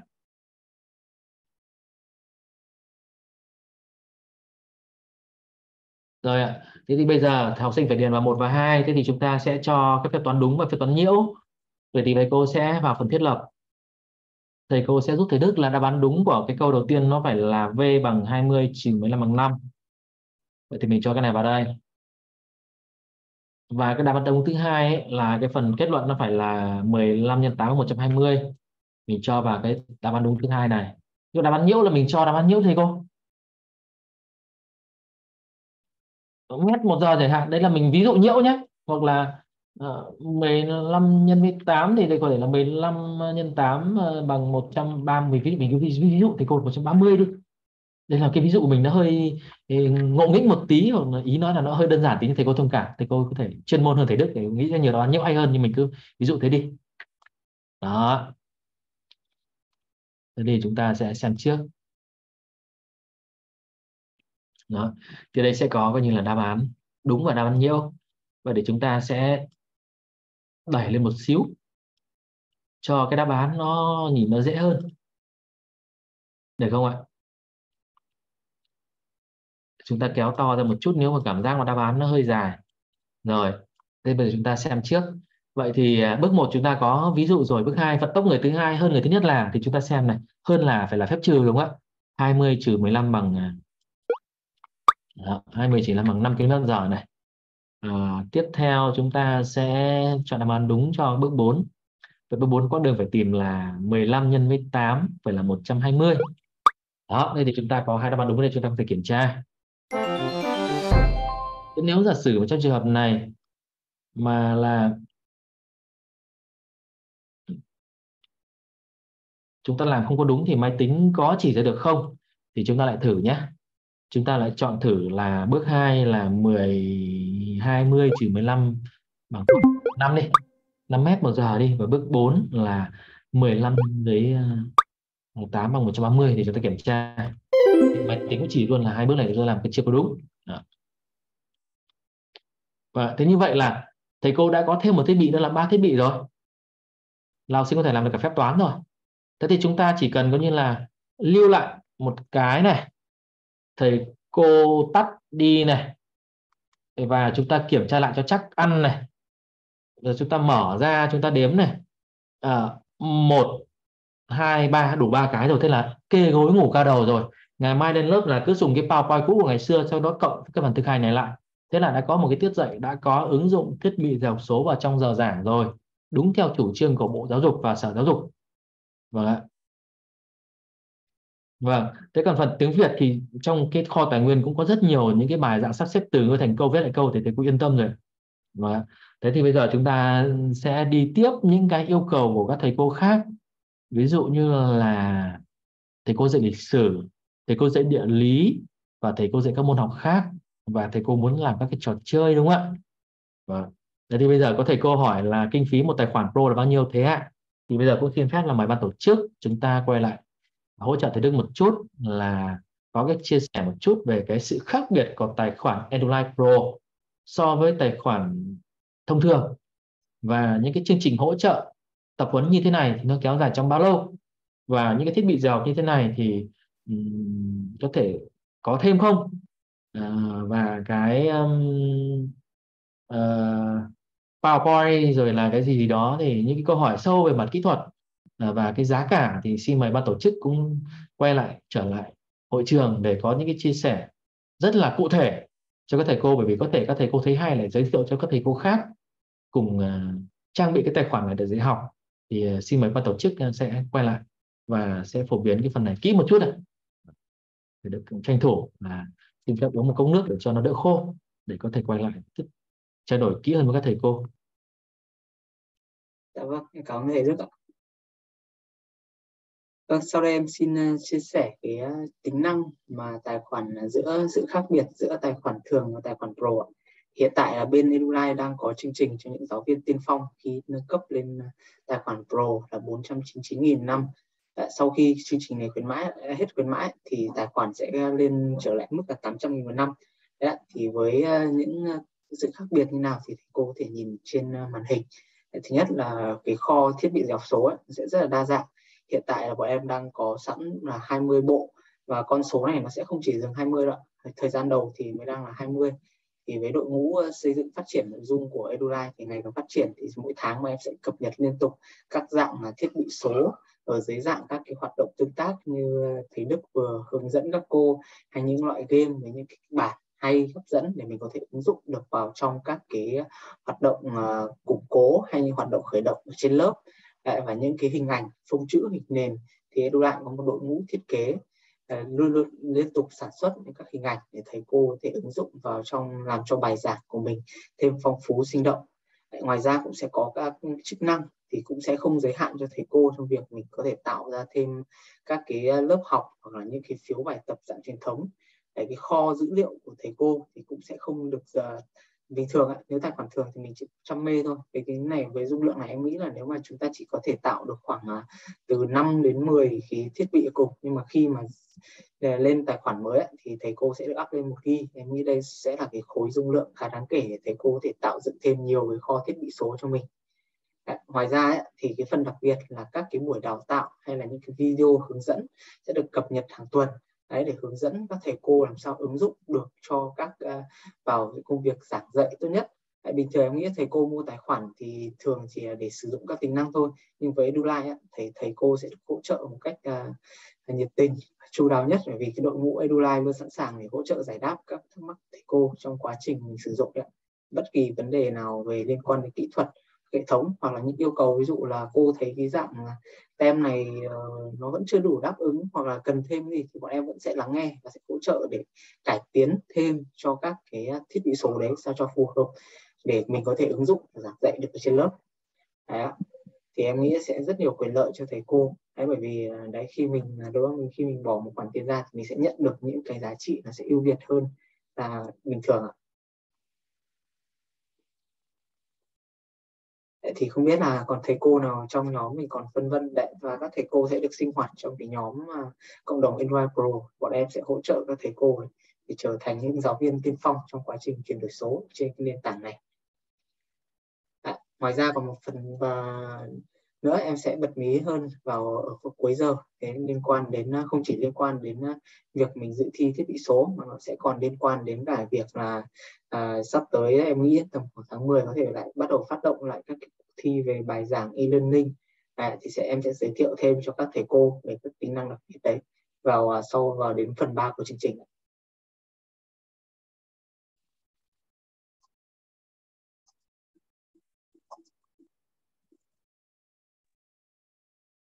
Thầy cô mình có thắc mắc gì thì mình cứ trao đổi ạ. Thì bọn em sẽ à, à, sẽ hỗ trợ giải đáp ạ những thầy cô nào mà đã đăng ký với em rồi thì mà hệ thống chưa lên thì thầy cô chờ nhé thì bọn em sẽ đang báo với đội kỹ thuật để hỗ trợ giải quyết cho các thầy cô rồi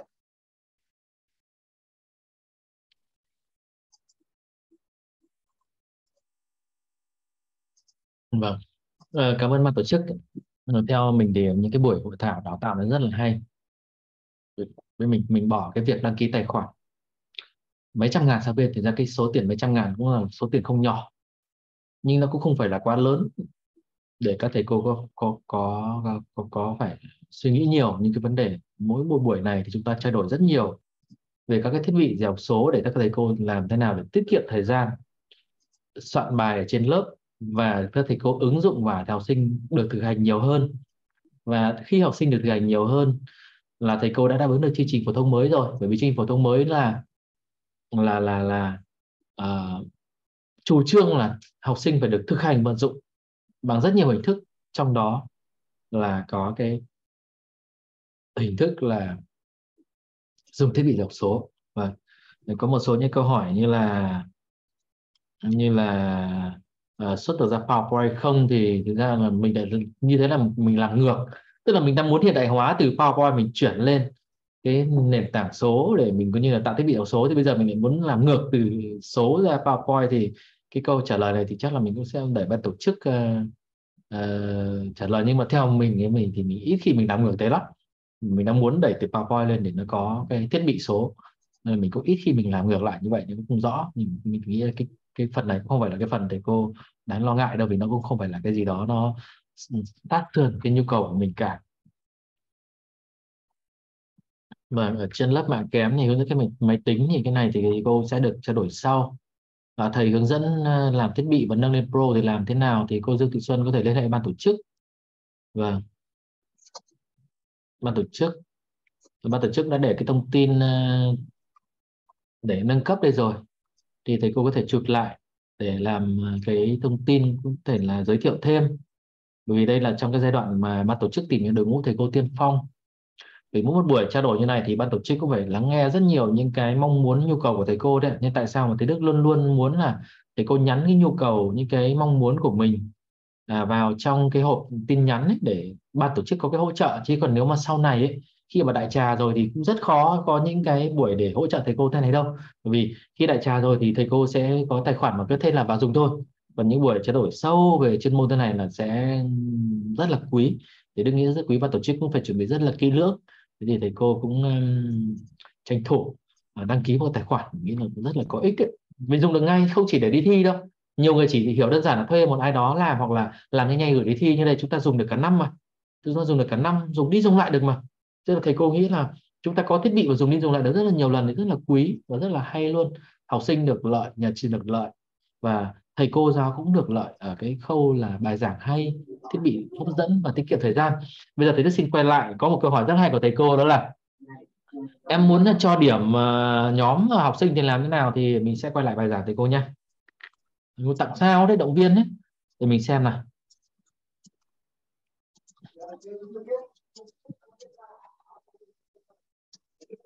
Vâng và quay lại cái phần sao đổi viên thế thì có thể cô có một câu hỏi rất là thực tế thôi. Bây giờ khi mà mình mình không lấy học sinh này cô nhé à, mình xin phép là lấy một cái ví dụ là là là là nhóm đi. Thầy cô chia nhóm nhưng mà chia nhóm xong làm trái động viên. Chả nhé lại khen bằng miệng là nhóm một hay lắm nhóm 2 rất tốt nhóm 3 được được nhóm 4 hay hay. Thì thực ra học sinh nghe cái đấy cũng không hấp dẫn lắm đúng không ạ? Ý câu hỏi của thầy cô là thế thì bây giờ sau khi cái một cái hoạt động đó muốn tổng kết lại, muốn tặng sao rồi vinh danh thì có được không thì mình thử xem nhé trong cái thiết, một số cái thiết bị dạy học số ở trong cái tài khoản pro này thì mình ngó coi này. Mình ngó coi xem sao. Mình ngó xem nào.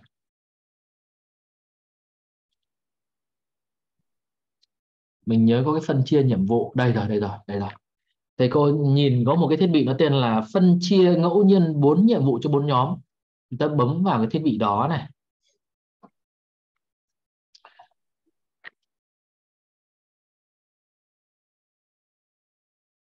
Mình tìm nốt cái phần là tặng sao và trao giải, không biết là để chỗ nào. Để cô cho thầy Đức tìm một xíu nha. Có cái phần đó đấy. Ừ, không nhớ là chỗ nào? Giờ thầy Đức nhớ là ở đâu rồi? Đấy để làm cho thầy cô xem trước.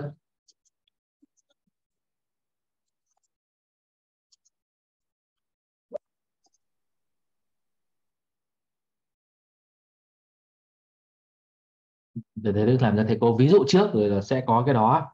Nhưng mà mình ờ, có cái ví dụ đây.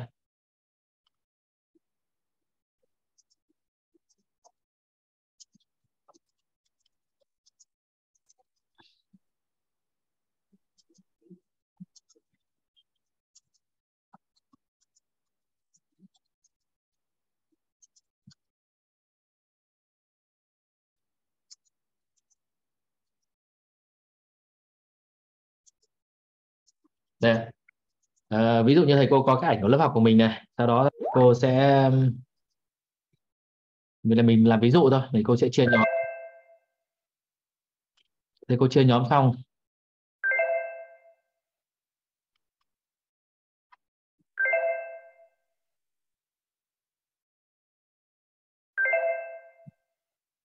Thì thầy cô cho các em thực hành yêu cầu em mỗi nhóm làm bốn nhiệm vụ và thầy cô bắt đầu đứng ở giữa lớp và quan sát quan sát xong thầy cô đã có cái số điểm cho từng nhóm trong đầu mình rồi.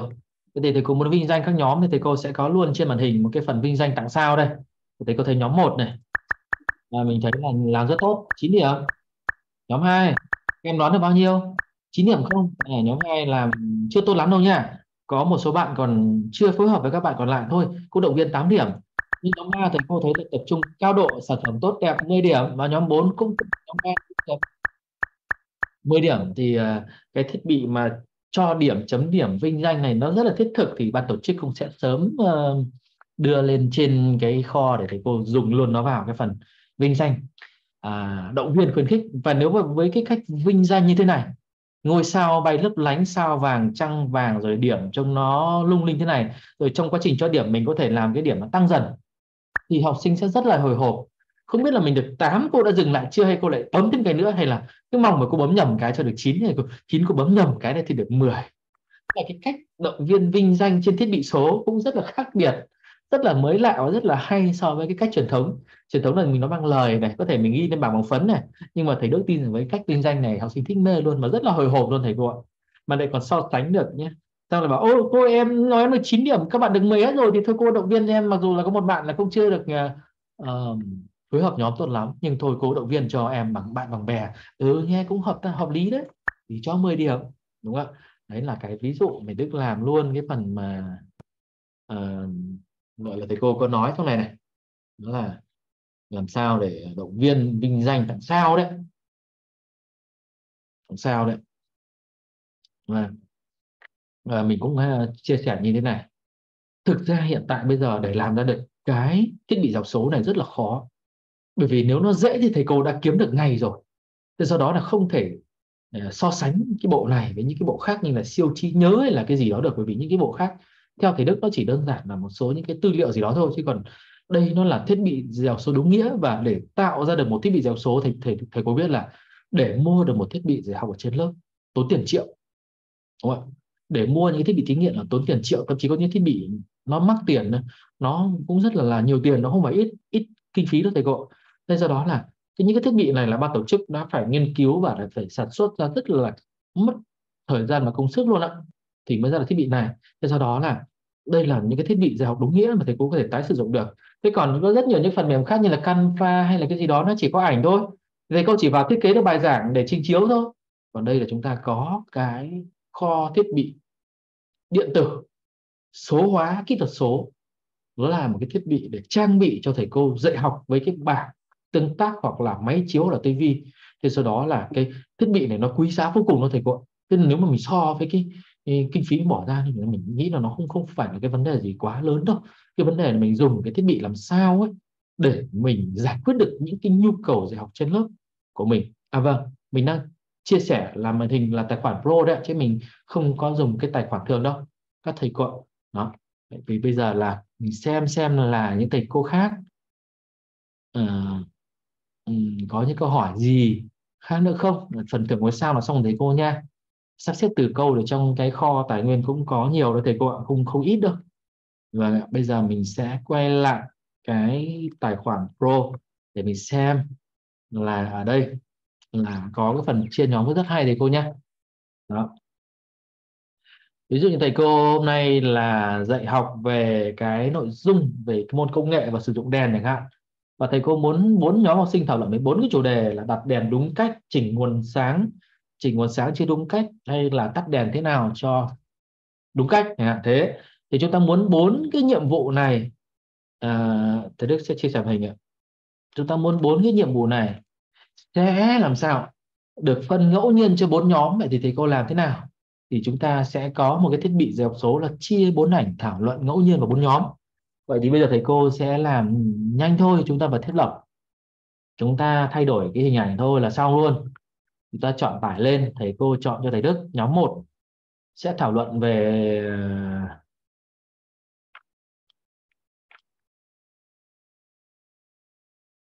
à, việc là chỉnh đèn nhưng mà lại cầm vào cái cái cái cái cái cái cái, cái gọi là cái chụp của đèn nó rất là nguy hiểm. Cái chụp đèn nó lắm lúc luôn nó mát điện nó nó giật cho mình cúp tê người luôn đó thứ hai, nhóm 2 thì ờ, sẽ thảo luận về ờ, nhóm 2 thì phải thảo luận về ờ, cái việc mà nhiều lúc thực ra mình cũng lười. Tắt đèn là cái cầm, tắt quạt cũng thế, tắt cái máy lò vi sóng cũng toàn cầm như bạn nhỏ này này, cứ cầm giặt ra luôn ấy. thực ra mình còn thế nữa, nên là rất là hay gặp nhưng rất là nguy hiểm. Thật ra nghe lại nó cũng không đúng thật. Thì nhóm 2 như thế, thảo luận về cái vấn đề tắt đèn chưa đúng cách. Nhóm 3 là lắm lúc là cũng liều ví dụ như là bên rồi cơm điện nó đặt đèn nó chân nó đi chân đất cũng liều thật. Cơm điện nó mát lúc đấy thì có khi tóc tai là cũng xém luôn đấy à, ờ, nhóm 4 thì sẽ là thảo luận về cái à, việc mà chỉnh nguồn sáng của đèn sao cho đúng cách. À, thôi mình lấy cái à, ảnh này đi. Ảnh này nó hay hơn nó chiếu thẳng mặt này đi. Đó. Thế nhưng mà thầy cô lại muốn là bây giờ nhóm 1, 2, 3, 4 vậy thì họ biết rồi nhưng mà mình muốn là mình không biết là nhóm 1 sẽ thảo luận cái chủ đề gì trong mỗi chủ đề đó. Mình không biết là nhóm 4 sẽ được thảo luận chủ đề gì trong mỗi chủ đề đó thì mình nhờ cái thiết bị này. Chia ngẫu nhiên giúp. Chia ngẫu nhiên giúp. Hình như vừa rồi là mình quên quên thầy cô à đâu mình phải áp dụng đấy chứ nhỉ?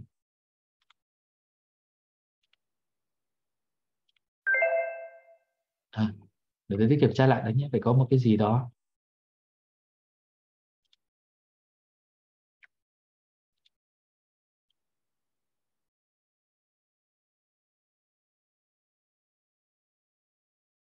À, thế sẽ kiểm tra lại nhưng mà mục đích của cái việc này đó là sẽ ngẫu nhiên được phân bốn cái nhiệm vụ vào bốn cái nhóm này một cách ngẫu nhiên. Và các nhóm sẽ coi như là kiểm tự nhận cái nhiệm vụ đó và cái nó sẽ vào thảo luận. Thế thì sẽ kiểm tra lại tại sao hôm nay thì nó lại không nhảy được cái à, nhiệm vụ mới vào trong cái nhóm này. Thì chắc là có vấn đề gì đó đúng không ạ? Đó, thế thì chúng ta lại có một cái thiết bị nữa đó là hoạt động đầu giờ khởi động không phải là môn toán đâu mà có thể cái này là môn công nghệ môn địa lý môn lịch sử uh, môn đạo đức uh, môn hoạt động trải nghiệm. Thầy cô đã có bốn ảnh có bốn cái hoạt động môn sinh học uh, và đã có bốn cái hoạt động bốn cái loại gen bốn cái di tích lịch sử bốn cái hành động của một học sinh ở trong triệt trường. Và thầy cô muốn ngẫu nhiên bốn nhóm sẽ có một cái nhiệm vụ được giao và các em sẽ thảo luận. Thì thầy cô chọn cái thiết bị này. Rất là thú vị luôn ạ. Học sinh rất là hồi hộp.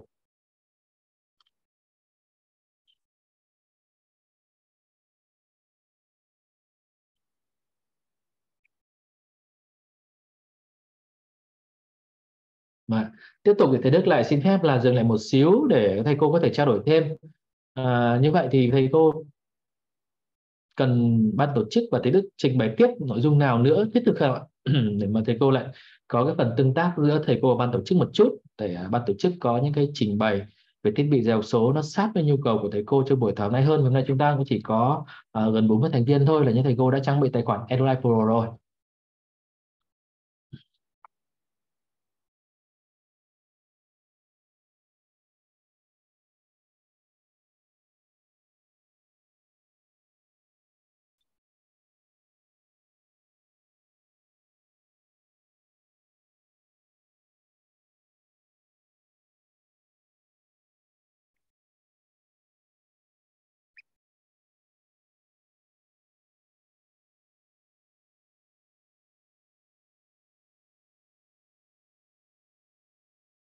Vâng, thế trong lúc mà chờ câu hỏi của thầy cô thì tôi xin phép quay trở lại màn hình của tài khoản. Thì trong cái kho thiết bị đọc số của tài khoản Pro thầy cô có thể lăn chuột, thầy cô thấy có rất nhiều như là nếu chúng ta dạy về một cái chu trình tuần hoàn như là cái vòng tuần hoàn và tạo ra nước ấy, thì phải là bốc hơi, ngưng tụ, mưa và tạo ra nước. Thì chúng ta cũng có cái chu trình tuần hoàn bốn bước để chúng ta dùng luôn chúng ta thêm vào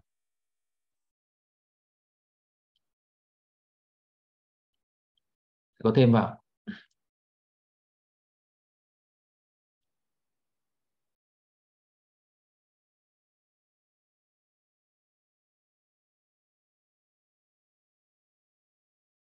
Và chúng ta có thể dùng được luôn. Nếu sau này mà có những cái hoạt động khác liên quan đến chương trình bốn bước này thì cũng có thể tái sử dụng lại cái thiết bị này. Ví dụ đầu tiên đây là bốc hơi này à, mặt trời à, làm cho cái quá trình bốc hơi nước. Thì chúng ta có bước một là bốc hơi đúng rồi.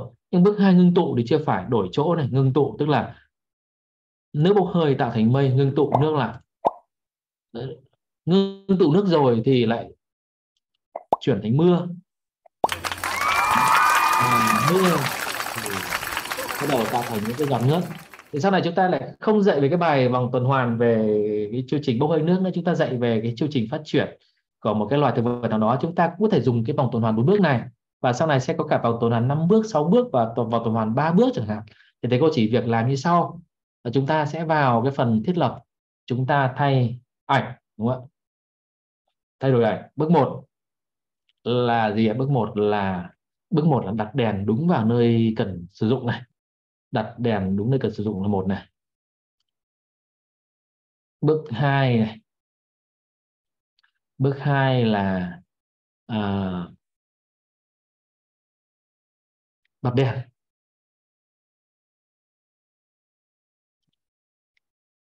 Bật đèn.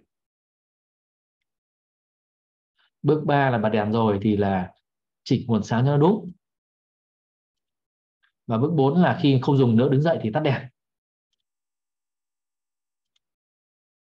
Chúng ta, bước 1 là bật đèn. Chỉnh luôn bước bước 2 là bật đèn và bước ba là trịch nguồn sáng hình sáng. Và bước 4 là tắt ví dụ thế rằng áp dụng. Và thầy cô xem luôn. À thế thì chúng ta thấy là à bước một là phải bật bật, đặt đèn này, bước hai bật đèn, bước ba chỉnh sáng và bước 4 là tắt đèn. Thế nhưng mà cái hình ảnh nó đã khớp chưa? Nếu chưa khớp, chúng ta chỉnh cho cái ảnh nó khớp để tạo ra một cái vòng tuần hoàn bốn bước thì bước một là bật đặt đèn là đúng rồi này. Bước hai bật đèn này. Bước ba là chỉnh toán à, bước bốn là tắt đèn. Như vậy là chỉ với một thiết bị học số dạng vòng tuần hoàn thôi. Nhưng khi dạy sinh học chúng ta dạy được lịch sử chúng ta dạy được địa lý chúng ta dạy được toán chúng ta cũng dạy được công nghệ chúng ta cũng dạy được thậm chí tin học chúng ta cũng dạy được bốn bước tháo lắp máy tính, bước một vặn ốc à bước một là tắt nguồn điện, bước hai là mở ốc, bước ba là tháo ra bước tư gì gì đó là chúng ta áp dụng được rất nhiều môn học luôn. Thì cái thiết bị thiết bị dạy học số này chúng tôi gọi nó là vòng tuần hoàn bốn bước. Sau này nó sẽ có thêm vòng tuần hoàn năm bước, sáu bước và ba bước.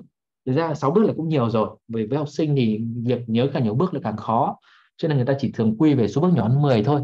Và trong đó là những cái bước như là 4 và 5 và 6 là rất là hay gặp. Ờ, thì thầy Đức cũng vừa minh họa cho thầy cô cái ờ, cách để chúng ta dùng cái uh, lịch sử đó. Đó. tiếp theo bây giờ sẽ có thầy cô rất là quan tâm đến cái việc mà môn lịch sử rồi là bấm vào mốc hiện ảnh hay là trắc nghiệm cho học sinh nhớ thì thưa thầy cô là thầy Đức kiểm tra lại trong tài khoản Pro này để xem cái phần trắc nghiệm nó ở đâu thì thì chúng ta thêm slide nhé có cái trắc nghiệm không nào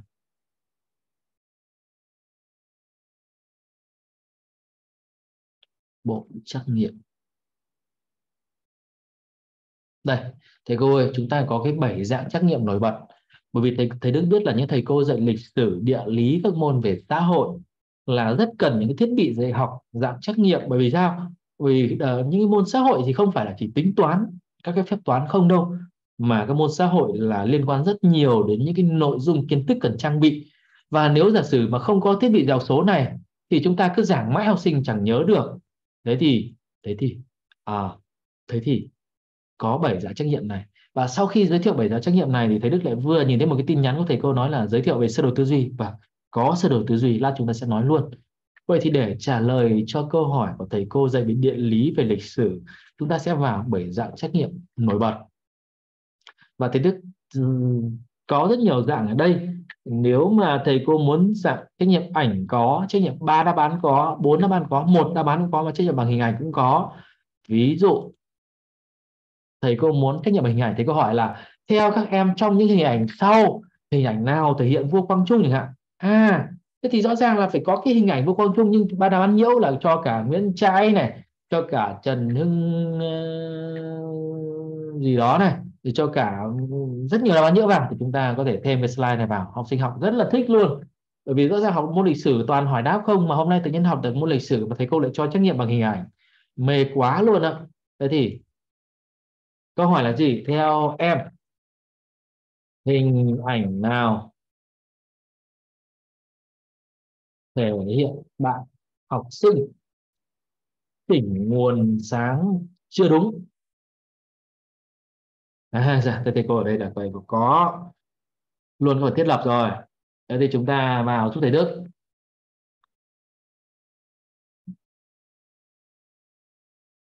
Đáp án đầu tiên đáp án đúng này. Còn các đáp án khác là mình sẽ cho đáp án nhiễu này.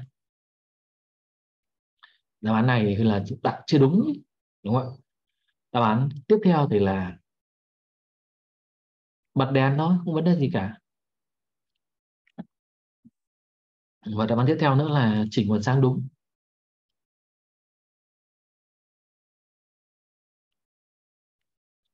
Áp dụng luôn. Thế là chúng ta đã có giờ giảng môn lịch sử rất là hay rồi. Đó, và chúng ta sẽ thấy là ở đây chỉ có một cái hình ảnh mà nó bật chưa đúng thôi, mình chọn này kiểm tra. Rồi chính xác rồi tức là cái hình nó xoay xoay xoay xoay xoay, xoay. thế thì thầy cô áp dụng luôn cái này. Vào trong môn lịch sử môn địa lý môn công nghệ môn trải nghiệm sáng tạo môn gì cũng được luôn. Tức là cái thiết bị này nó dùng được vô cùng nhiều luôn bởi vì trắc nghiệm bằng chữ thì dùng quá nhiều rồi đọc hoa cả mắt nhưng mà trắc nghiệm bằng hình ảnh thì nhớ lâu vô cùng và thống động vô cùng luôn. Thế do đó là cái thiết bị dạy học trắc nghiệm bốn đáp án hình ảnh này thầy cô có thể dùng rất nhiều các môn học khác nhau chứ không chỉ cho một môn và học cực thích. Đó. Và có câu đó là thấy bấm vào hình ảnh video hay là đọc kiểu storyline cái đó thì nó quá đơn giản đấy. Bởi vì cái đấy nó chỉ để bấm nó hiện thôi. Đây là cái thiết bị giáo cho chúng ta tương tác và cho máy chấm. Vâng Rồi thì thì thế xin lỗi. À, thầy đức cũng à, à, phân tích để cô Dương Thị Xuân là phân biệt. Những cái phần mềm như Storyline hay là Tinh Link là cô quen việc bấm thì nó bấm đọc. Thế nhưng mà máy không có chấm được, không có tương tác được với người học, không chỉ cho người học được là em đang làm thế nào, em làm đúng hay chưa đúng. Do đó là cái thiết bị dọc số của Eduline là thiết bị thực sự luôn đấy. Nó tạo cho người học cái nơi để học sinh vào làm thí nghiệm, được trải nghiệm, được tương tác và máy tính và phần mềm và thiết bị dọc số của Eduline luôn đóng vai trò như một thiết bị thực thụ tương tác, giao tiếp với học sinh. Còn các phần mềm khác hiện tại chỉ là bấm và nghe, bấm nghe bấm nghe. Nó chỉ là một chiều, nó không khác gì mình giảng bài PowerPoint như ngày xưa, đúng không ạ? PowerPoint mình có làm được không? Làm được qua PowerPoint mình làm được, bấm cái nó đọc cái gì đó, bấm cái nó chạy cái phim là làm được. Nhưng nó không tương tác được với học sinh, nó không giao lưu được với học sinh, nó không tạo ra được tình huống cho học sinh và do đó nó không được gọi là thiết bị giáo số đâu ạ. Nó chỉ gọi là bài giảng điện tử thôi thế sau đó là khi thầy cô đã chuyển lên Edolive Pro nó là một cái bước nâng cấp cái, cái, cái kỹ năng dạy học nó vô cùng lớn nhỉ nó thay đổi hẳn cái cách dạy học của mình luôn nó thay đổi hẳn cái cách học của học sinh luôn học sinh học thích mê luôn. Đó. là chúng ta lúc mà chúng ta quên tiện những cái khác đi luôn chúng ta cũng chả quan tâm đến storyline hay là sinh linh là cái gì nó luôn bởi vì nó nó không đáp ứng được yêu cầu hiện tại đâu. Đó là thầy Đức cũng chia sẻ như thế. Và bây giờ thì có một cái câu hỏi nữa của thầy cô đó là ngoài cái việc mà môn lịch sử ấy thì cái sơ đồ tư duy rất là quan trọng, đúng không ạ? Và mình sẽ thử lấy một cái sơ đồ tư duy nhé.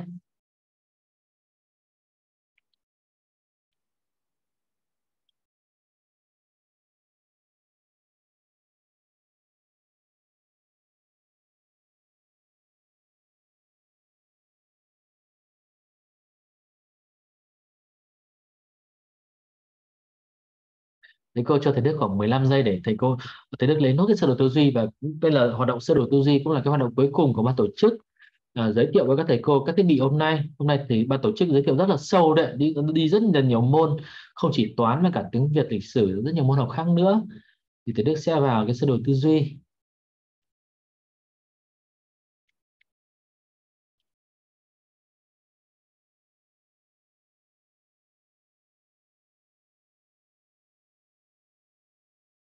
Vâng, sơ đồ tư duy thì cũng có rất là nhiều phiên bản. Đây là một cái phiên bản mà Thế Đức đã chỉnh lại một chút cho nó dễ dùng hơn. Tức là khi chúng ta dạy học thì chúng ta thường là cho học sinh động não rất nhiều những cái hướng, những cái tình huống, những cái nội dung để học sinh động tư duy và trao đổi. Thế nhưng nếu chúng ta chỉ đọc không học sinh không có thích mà chúng ta muốn một cái sơ đồ tư duy nó na ná như cái não bộ, như cái neuron thần kinh thì chúng ta có cái tham khảo cái mẫu thì Đức đã chỉnh. Đó. Thì đây là có cái hệ thống neuron thần kinh nó đổi màu và nó từ từ nó chạy những cái tín hiệu xung thần kinh đến những cái nội dung dạy học. Ở đây chúng ta có trao đổi hôm nay có là ăn uống thể thao, tiệc tùng gia đình, bạn bè thể thao xây nhà nấu ăn, đối tác dã ngoại, tức là những cái hoạt động này là những hoạt động mà trao đổi là cái việc cân bằng trong cuộc sống. Môn này là môn dạy môn đạo đức hoặc là những cái môn về trải nghiệm sáng tạo. Thì để mà làm cái sơ đồ tư duy này cũng rất đơn giản thôi, thì cô chỉ vào thiết lập. Và chúng ta chỉ cần có bao nhiêu cái hình ảnh chúng ta thay vào bấy nhiêu thôi ví dụ này thầy cô muốn thảo luận về chiến thắng ngọc hồi đống đa chẳng hạn, có môn lịch sử. Thì thầy cô chọn cho thầy đức những cái vị, hình ảnh về vị trí địa lý này, về vùng đất này, về các tướng này, các cái trận đánh này, các cái loại vũ khí này, thầy đức, thầy cô cho vào hình ảnh, thay vào đây. Và các cái ghi chú đây thì thầy cô sẽ ghi chú là vũ khí này, mốc thời gian này, năm nào này, tướng nào này, bao nhiêu quân này, thầy đức và thầy cô sẽ thay luôn vào đây một cách rất là nhanh chóng sau đó chúng ta áp dụng. Áp dụng xong chúng ta bấm vào xem cái là chúng ta đã có một cái sơ đồ tư duy rồi. Rất là nhanh luôn ạ. Nhanh vô cùng luôn. Và nhanh vô cùng luôn. Là cái sơ đồ tư duy này thì dùng cho môn nào cũng được, đạo đức, từ xã hội công nghệ, lịch sử môn nào cũng dùng được. Và đó. Thế thì Đức xin phép là đã là 10 giờ 40 rồi và hôm nay thì ban tổ chức cũng đã cấp đa số cho các thầy cô cái tài khoản EduLife Pro rồi. Và trong cái tài khoản EduLife Pro thì có cái kho thiết bị dọc số thầy cô cứ vào đó bấm nó vào tải nó về chỉnh và dùng. Đó bây giờ nó chỉ thế thôi. Bước một vào kho thiết bị số. Bước 2 lấy thiết bị số về. Bước 3 chỉnh thông số. Bước 4 đưa vào sử dụng. Chỉ ngắn gọn thế thôi không có gì là phức tạp cả. Và bây giờ thì xin phép là ban tổ chức uh, quay lại hội thảo quay lại cái buổi hướng dẫn để thông tin thêm cho các thầy cô về cái việc mà có thể đóng gói bài giảng hoặc là bài giảng có thể sử dụng được những cái dạng nào không thì à, xin mời ban tổ chức. Còn phần à, hướng dẫn của thầy Đức đến buổi hôm nay thì cũng tương đối là à, đã phổ phủ được rất nhiều nội dung rồi. À, tất nhiên cũng có một số những cái nội dung chưa đáp ứng hết được những cái yêu cầu của thầy cô thì Đức cùng ban tổ chức xin phép là sẽ đọc kỹ những cái tin nhắn và để sẽ có những cái phân tích và có những cái chuẩn bị kỹ hơn nữa để cái buổi hướng dẫn kế tiếp sẽ có cái thông tin để thầy cô uh, sử dụng được luôn. Uh, những cái mà thiết bị dọc mà thầy cô đang rất là mong đang cần. Uh, và xin mời ban tổ chức quay lại. Và cũng có rất nhiều câu hỏi liên quan đến tài khoản rồi chuyển khoản rồi là uh, các cái cuộc thi đấy thì mời ban tổ chức sẽ hướng dẫn thêm với các thầy cô à, xin à, một lần nữa cảm ơn các thầy cô rất nhiều. Dạ vâng. Em à, xin cảm ơn phần trình bày và hướng dẫn của thầy Đức ạ. Thì như rồi là thầy Đức cũng đã trình bày cho chúng ta đã khá nhiều cái dạng thiết bị số mà thầy cô có thể sử dụng trên kho thiết bị của Android Pro. Đấy, thì tuy nhiên em nghĩ là cũng có thể nhiều hôm nay chúng ta chỉ xem thôi. Quan trọng là về hôm nay thì chúng ta sẽ cần luyện tập thêm và ừ, đấy để khóa sau có thể thay đổi các cái nội dung cũng như làm sao để đưa các ý tưởng vào trong các, các cái nội dung số đó để dạy học. Thì uh, tiếp theo chương trình thì em cũng sẽ chia sẻ thêm một số thông tin. À, em cũng nhận được ờ, một số thông tin các thầy cô vẫn hỏi câu là liệu có thể đóng gói được uh, sản phẩm này không? Đấy, thì với ờ, như em chia sẻ ban đầu ấy, thì hiện tại là chúng ta sẽ cái quan trọng là chúng ta đã xây dựng được ờ, không biết là cô nào mình đã sử dụng mình đã xây dựng được một cái thiết bị để học số theo ý tưởng mình trên chưa thầy cô nào uh, xây dựng được rồi thì thầy cô gọi em số 1 nhé thầy cô nào chưa thì mình dạy số 0 Đấy, thì thì sắp tới đây thì uh, sang tuần tới đấy, thì chỉ thì Edulai sẽ ra mắt tính năng là sẽ có thể đóng gói được các cái thiết bị số trên Edulai nghĩa là các cô thể tải về đấy, dưới định dạng à, zip để có thể à, định dạng zip và chính là định dạng SCOM ấy, để chúng ta đóng gói và nộp bài đi thi đấy, thì thầy cô nào mà chưa làm ấy, thì mình nhanh tay mình hoàn thiện xong ý tưởng Thế là tuần sau em sẽ hướng dẫn các cô cách đóng gói, tải xuống và đóng gói các cái thiết bị dạy học này để đi thi. Đấy, và những uh, cô thầy cô nào trong nhóm Airline Pro ấy, thì em sẽ gửi lại cái uh, bản mô tả sản phẩm vào trong nhóm thì các thầy cô sẽ có thể tham khảo. Đấy, em xin uh, chia sẻ lại đây luôn. Đấy, ví dụ như ở đây là em đang làm về uh, bản mô tả thiết số là em sẽ lấy luôn từ cái kho tài nguyên của Edulai nhưng mà em sẽ về em sẽ chỉnh sửa nó lại thành cái thiết bị của mình đấy, thành phiếu ôn tập kiến thức toán 2 thì em sẽ thêm những câu hỏi trong đấy câu nào mà không hợp với ý tưởng của mình. Đấy, thì mình có chỉnh sửa mình thay đổi lại nội dung theo ý muốn của mình. Đấy, thì trên này là cũng là các cái form chung. Đấy, ví dụ như là mục đích của cái sản phẩm này chúng ta xây dựng để làm gì. Đấy, như với cái bộ phiếu ôn tập này sẽ giúp cho học sinh rèn luyện khả năng tính toán này, tư duy logic đồng thời rèn luyện kỹ năng mà học tập. Đấy, với các cái hoạt động tương tác này thì sẽ giúp học sinh có hứng thú hơn và có thói quen tự học. Đơn giản bằng cách là các cô chỉ cần gửi đường link vào nhóm Zalo học sinh có thể kích vào đường link đấy và làm bài tập rồi. Đấy. tăng cường ứng dụng công nghệ công nghệ thông tin trong hoạt động học. Và những cái này ngoài việc là các cô thể gửi cho học sinh thì mình cũng có thể trình chiếu ở trên bảng uh, trên màn hình màn chiếu TV trên lớp để cho các cái đội thi đua với nhau. Đấy nãy ở đầu giờ em thấy có một cô hỏi là mình có thể xây dựng được một cái hoạt động cho ờ, toán. 10 câu hỏi và phân thành các đội làm không đấy thì mình có thể ứng dụng cái à, phiếu ôn tập này kết hợp với cả cái thiết bị dạy học số mà cho điểm ấy. Thì thầy cô có thể mở hai tab đấy, một tab là để chấm điểm một tab là sẽ để học sinh à, các đội chia nhóm cho nhau làm bài. Đấy. Xong tiếp theo là các cái mục ví dụ như là công dụng chức năng của thiết bị dạy học số. Thì trong này em cũng à, tham khảo từ khá nhiều nguồn của các chuyên gia về các thầy cô có chuyên ngành về công nghệ có chuyên môn cao trong việc xây dựng các bài giảng e-learning cũng như họ có công nghệ có chuyên môn cao trong nghiệp vụ sư phạm công nghệ. Đấy, thì họ cũng đã lên một cái khung rất là chuẩn. Mình cũng có thể bám theo cái khung này và mình chỉnh sửa lại nội dung sao cho phù hợp với cái thiết bị dạy học số của mình thôi. Đấy, ví dụ như hai là công dụng thì cái thiết bị dạy học số này của mình sẽ à, có chức năng như thế nào? Đấy, giúp học sinh à, tăng cường trí nhớ hay làm cho làm cho việc học tập lâu bền? Đấy, thì em cũng à, liệt kê hết đây. Ví dụ như ba là quy trình thiết kế. Đấy, thì ở đây nguyên tắc hoạt động ấy, thì à, mình sẽ lưu ý rõ trong cái bản này là trước khi ra mắt SCOM thì em vẫn nhờ các cô à, những cô nào muốn có bài đi thi mà không muốn mất thời gian thì mình có thể đưa cái đường link đấy vào file Word hoặc file Notepad. Trong trong này mình sẽ ghi rõ hơn cái à, quy trình thực hiện là như thế nào. Đấy, học sinh sẽ truy cập bằng đường link giáo viên gửi này. Học sinh có thể làm bài trên bất kỳ thiết bị công nghệ nào máy tính máy tính bảng hay là điện thoại. Đấy, yêu cầu là tất cả các thiết bị đều sẽ phải kết nối với internet. Thì do đây là cái à, thiết do đây nền tảng số nó hoạt động trên công nghệ đám mây. Đấy, nên là chúng ta bắt buộc cần phải có internet thì chúng ta hoạt động được. Đấy, tiếp theo là nội dung sản phẩm. Thì mấy em sẽ chụp lại các cái à, tiêu đề đề bài này. Đấy, các dạng phải chọn các cái dạng nội dung các cái dạng tương tác trong bài học. Đấy chỉ đơn giản như vậy thôi là các cô đã có thể xây dựng được một cái thiết bị số đấy, quan trọng học sinh làm bài xong đây thì nó sẽ có hiển thị ra cái bảng kết quả và cả một cái bảng xếp hạng thì học sinh có thể để biết được cái ờ, vị trí của mình ở đâu và cần thi đua với những học sinh nào đấy để có kết quả tốt hơn.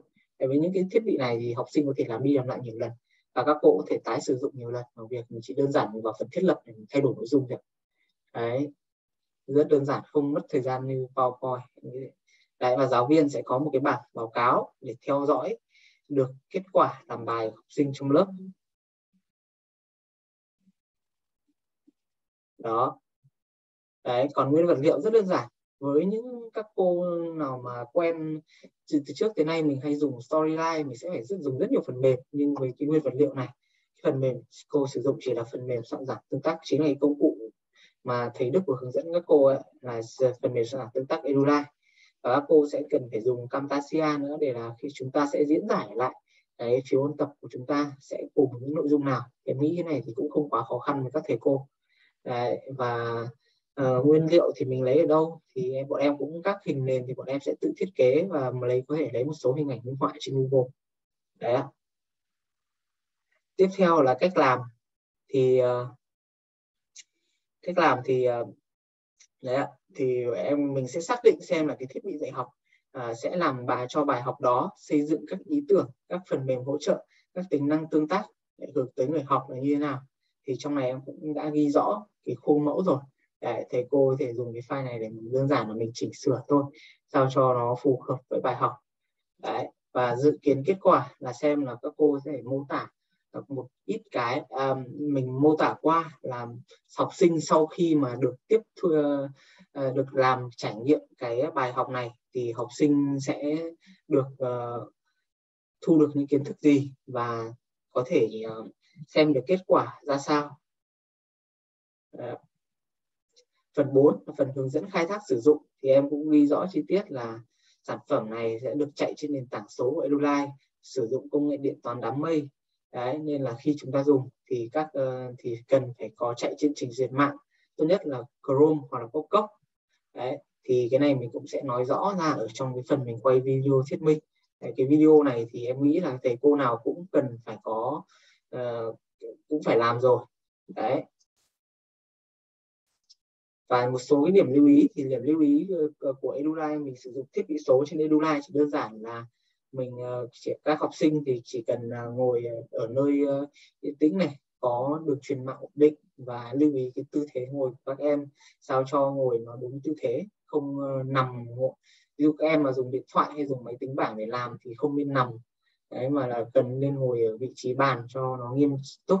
Đấy và trong lúc làm toán ấy, thì các em cần cũng cần chuẩn bị giấy vở nháp để um, có những bài tính toán tính nhầm mình sẽ thao tác hơn để đưa ra được kết quả đúng cho bài. Đấy, nội dung thì nó khung mẫu nó chỉ đơn giản như thế này thôi. Đấy, quan trọng là các thầy cô mình chỉ cần xây dựng được một cái bài uh, thiết được một bài học trên Edulite và sau đấy mình sẽ ờ, đóng gói lại được. Đấy, thì cái tính năng đóng gói này à, chỉ có là bọn em hiện tại là chỉ ưu tiên cho tài khoản pro. Còn nếu mà thầy cô dùng tài khoản thường thì chúng ta chỉ có thể copy được link và chúng ta có thể đính vào file Word hoặc là file ờ, Notepad chúng ta nộp kèm ngoài ra ở đầu giờ thì cũng có một số thầy cô có một câu hỏi thầy cô là, là mình sẽ à, mạng không ổn định.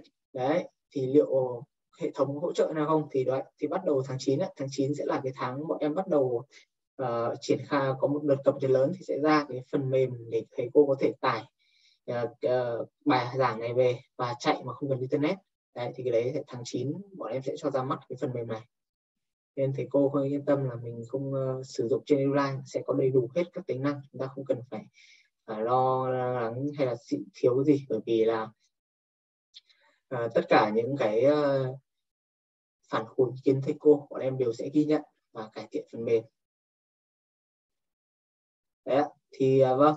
Thì cái file Word này em sẽ lát em sẽ gửi vào nhóm Eduard Pro cho các cô ạ. Nên các thầy cô yên tâm ạ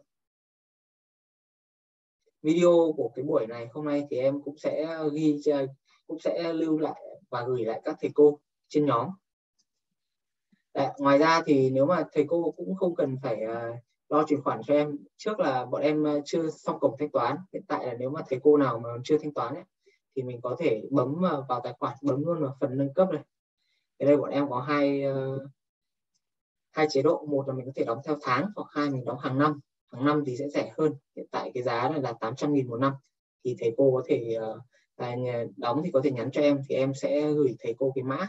Nó sẽ giảm giá xuống còn 499 nghìn một năm thôi. Nó sẽ rất là tiết kiệm hơn cho các thầy cô ạ.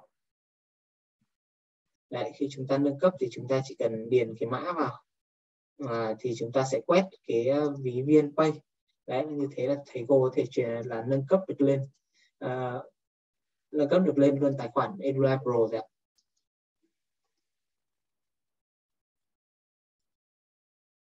Vâng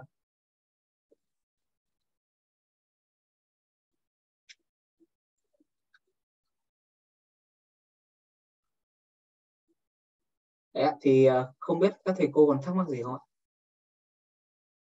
Thì những cái vấn đề ờ, các thầy cô mà đã trong tài khoản Pro rồi ạ, thì ờ, mình cứ có vấn đề gì thì mình cứ trao đổi với em trong nhóm, em sẽ hỗ trợ. Thầy cô nào mình chưa lên thì mình cứ còn vấn đề gì băn khoăn thắc mắc thì thầy cô cứ trao đổi với em à, em sẽ hướng em sẽ tư vấn lại thầy cô ạ. Vâng à, bài hôm nay có video ạ. Em đã record lại rồi. Thì lát em cũng sẽ gửi luôn cái video buổi à, đào tạo ngày hôm nay vào trong nhóm trên các nhóm cho các thầy cô ạ.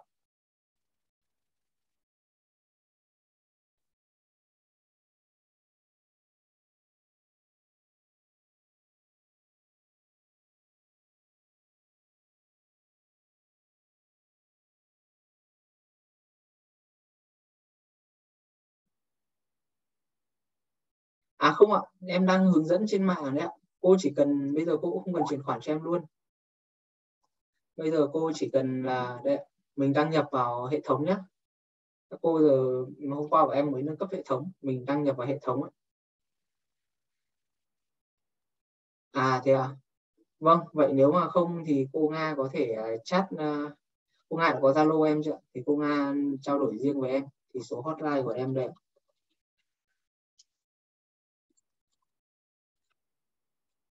thì em sẽ hỗ trợ mình trong cái vấn đề chuyển khoản này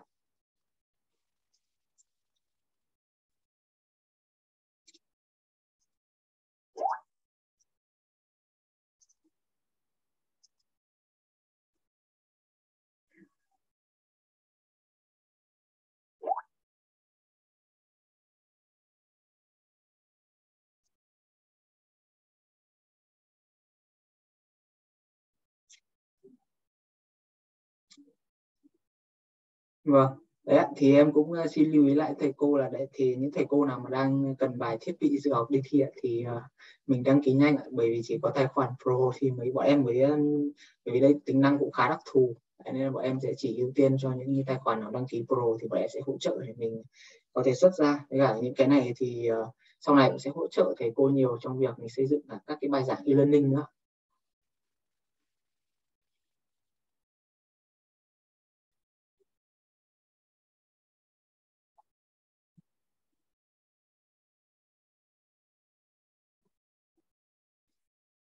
Vâng, vậy nếu thầy cô mình không còn thắc mắc nào thì em xin phép để kết thúc cái buổi đào tạo ngày hôm nay ở đây. Thì em rất cảm ơn các thầy cô nào mà đã à, bỏ bỏ thời gian ngày nghỉ ra để theo dõi buổi đào tạo này trong hơn 2 tiếng. Mình đã có thức thu em nghĩ là cũng nhiều kiến thức rất là hữu ích trong cái công cụ việc chuyển đổi số ngày hôm nay. Thì em rất là hy vọng là Euride sẽ là một nền tảng để giúp đỡ cho giúp thầy cô trong cái công cuộc chuyển đổi số này đấy nó sẽ là một công cụ hỗ trợ cô đắc lực trong uh, công việc giảng dạy. Vâng 15 nộp em nghĩ là kịp ạ. Quan trọng là cô mình cứ xong được cái tài nguyên trên Edulai trước. Cô cứ chuẩn bị sẵn uh, một cái bàn thiết bị dạy học số và một cái bản mô tả đầy đủ cũng như một video. Còn cái việc xuất ra thì nhanh lắm cô ạ. Đơn giản chỉ cần mình kích một nút thôi là nó sẽ xuất được ừ, file ra thôi. Đấy, quan trọng là cô phải hoàn thiện xong cái bản mô tả chương trình và quay lại được cái video là mình sẽ ứng dụng cái cái thiết bị số này vào dạy học như thế nào. Chứ còn cái việc mà xuất ra file thì em nghĩ là còn nó nhanh lắm thưa cô ạ.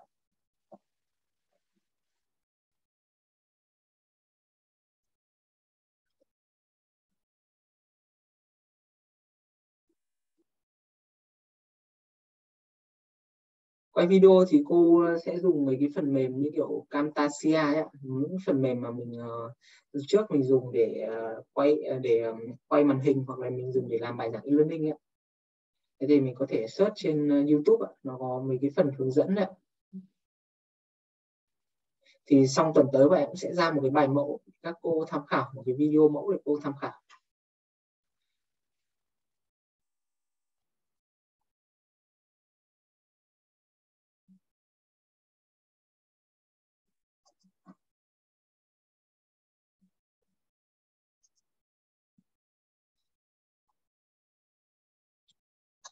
Vâng, thế nếu không còn câu hỏi gì nữa thì em à, xin phép kết thúc ạ.